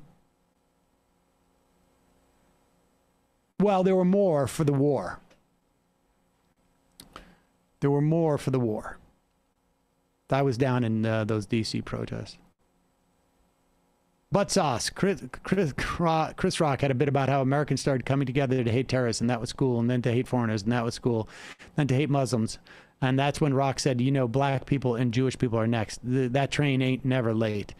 Uh, Emma Knight Shamalian, uh, hot take South Park more than anything else ruined my generation. It taught us that caring was lame, that bigotry is cool and edgy, especially if you dress it up with ironic humor. I think there's something for that argument. And that like being anti-war was sort of like could be a Republican thing. I mean, maybe that wasn't an explicit message, but that was kind of a message I and a lot of people in my uh, early college ha- got from that stuff. Hmm. Thames Darwin, Sam, like you, I heard the attacks happen live on Stern. I remember hearing uh, about the landing gear on that first plane, but even more, I recall Stern reporting that a second plane had hit. Between parking my car on the lot and getting into my office and turning on the radio, they had gone on the warpath. It happened that quickly. Um, Aaron is not cool. Can I get a shofar? It's my birthday, and I'm 34, and I'm finally writing and directing my first movie this year. Oh, congratulations. Awesome.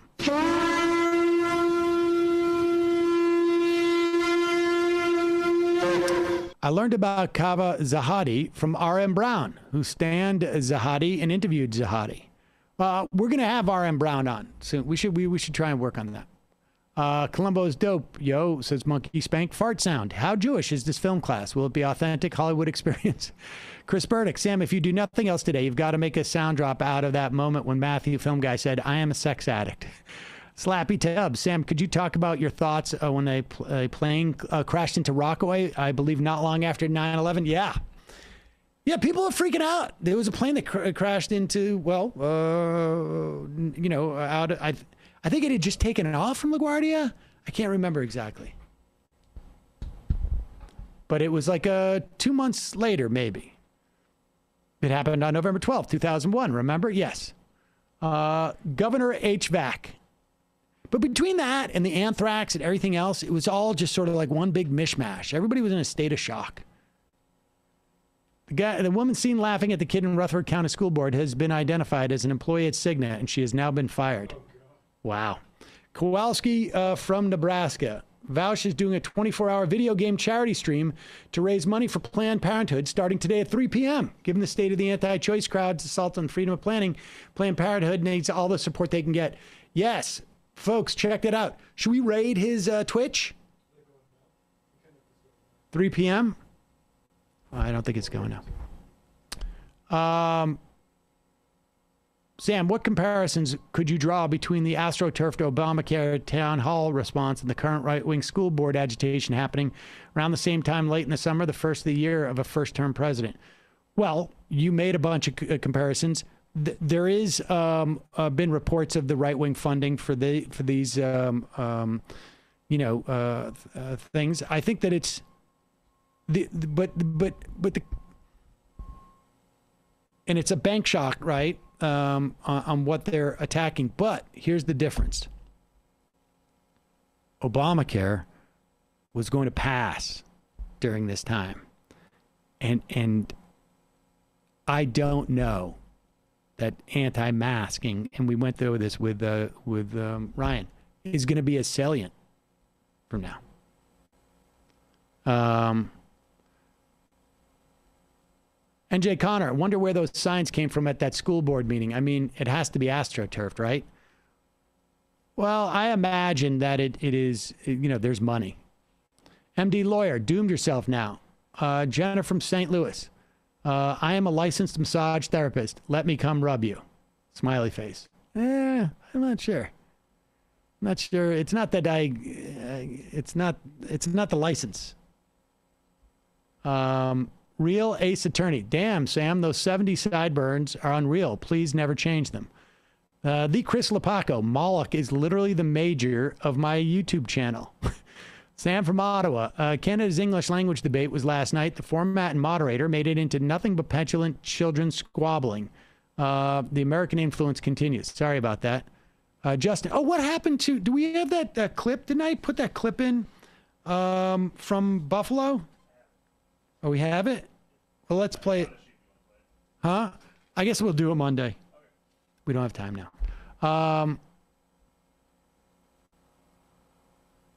okay. Couple more of these and then we're out of here. Uh, Gagabool. Oh, wait, no, I already did that. Till. Uh, Sam, what comparisons could you draw? Oh, I did that one already too. Jennifer from St. Louis. Uh, yeah, okay.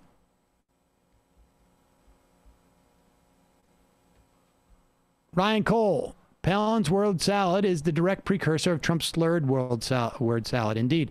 Friend described libertarianism as astrology for men. Astrology makes more sense, in my opinion. 69. Bra, the non aggression principle, bro. Cops will use lethal force to make sure nobody takes my private property that I inherited from my parents. I worked hard to be born to them, and I'll use that land for something important. Damien, did you have to pee? I did, yeah. Sorry. Godcat. Uh, studio should be ready by 926, my birthday. I had reservations for Windows on the World 92601. My uh, 13th I had to uh, settle for Nobu. Also, uh, come home, Brian. Be my husband. Okay. Bill O'Reilly's slate book, Killing Bin Laden, Obama's continuation of black on black crime. Uh, Big Dick Cheney energy. Uh, weren't there multiple brawls at the Palin residence the police had to break up? Weird. She's capable of being embarrassed for anyone else. Sam's only fan. Hey, Sam, can we please get Thom Hartmann on to talk about his new um, book, Hidden History of American Healthcare? Very good stuff. Yeah, I think we can do that.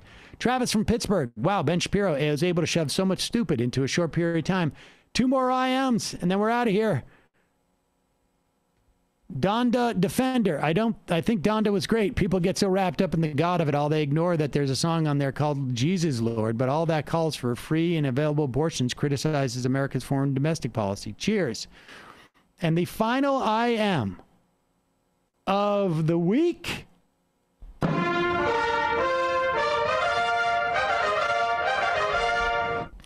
Chili Pecker, we just had statues removed from Richmond too. I've had several people in my comments saying that Robert E. Lee is one of the good Confederates, as if he didn't also own slaves. He's good in the sense that he sucked at being a general to the point where he lost a war he probably could have won.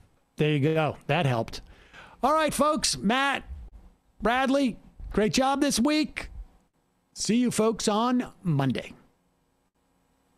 It might take all the strength I got to get to where I want, but I know somehow I'm gonna get there. I wasn't looking when I just got caught between the truth and the lie bar. But finding out won't make me feel any better. Yeah, I know the clock is ticking, but the meds are in.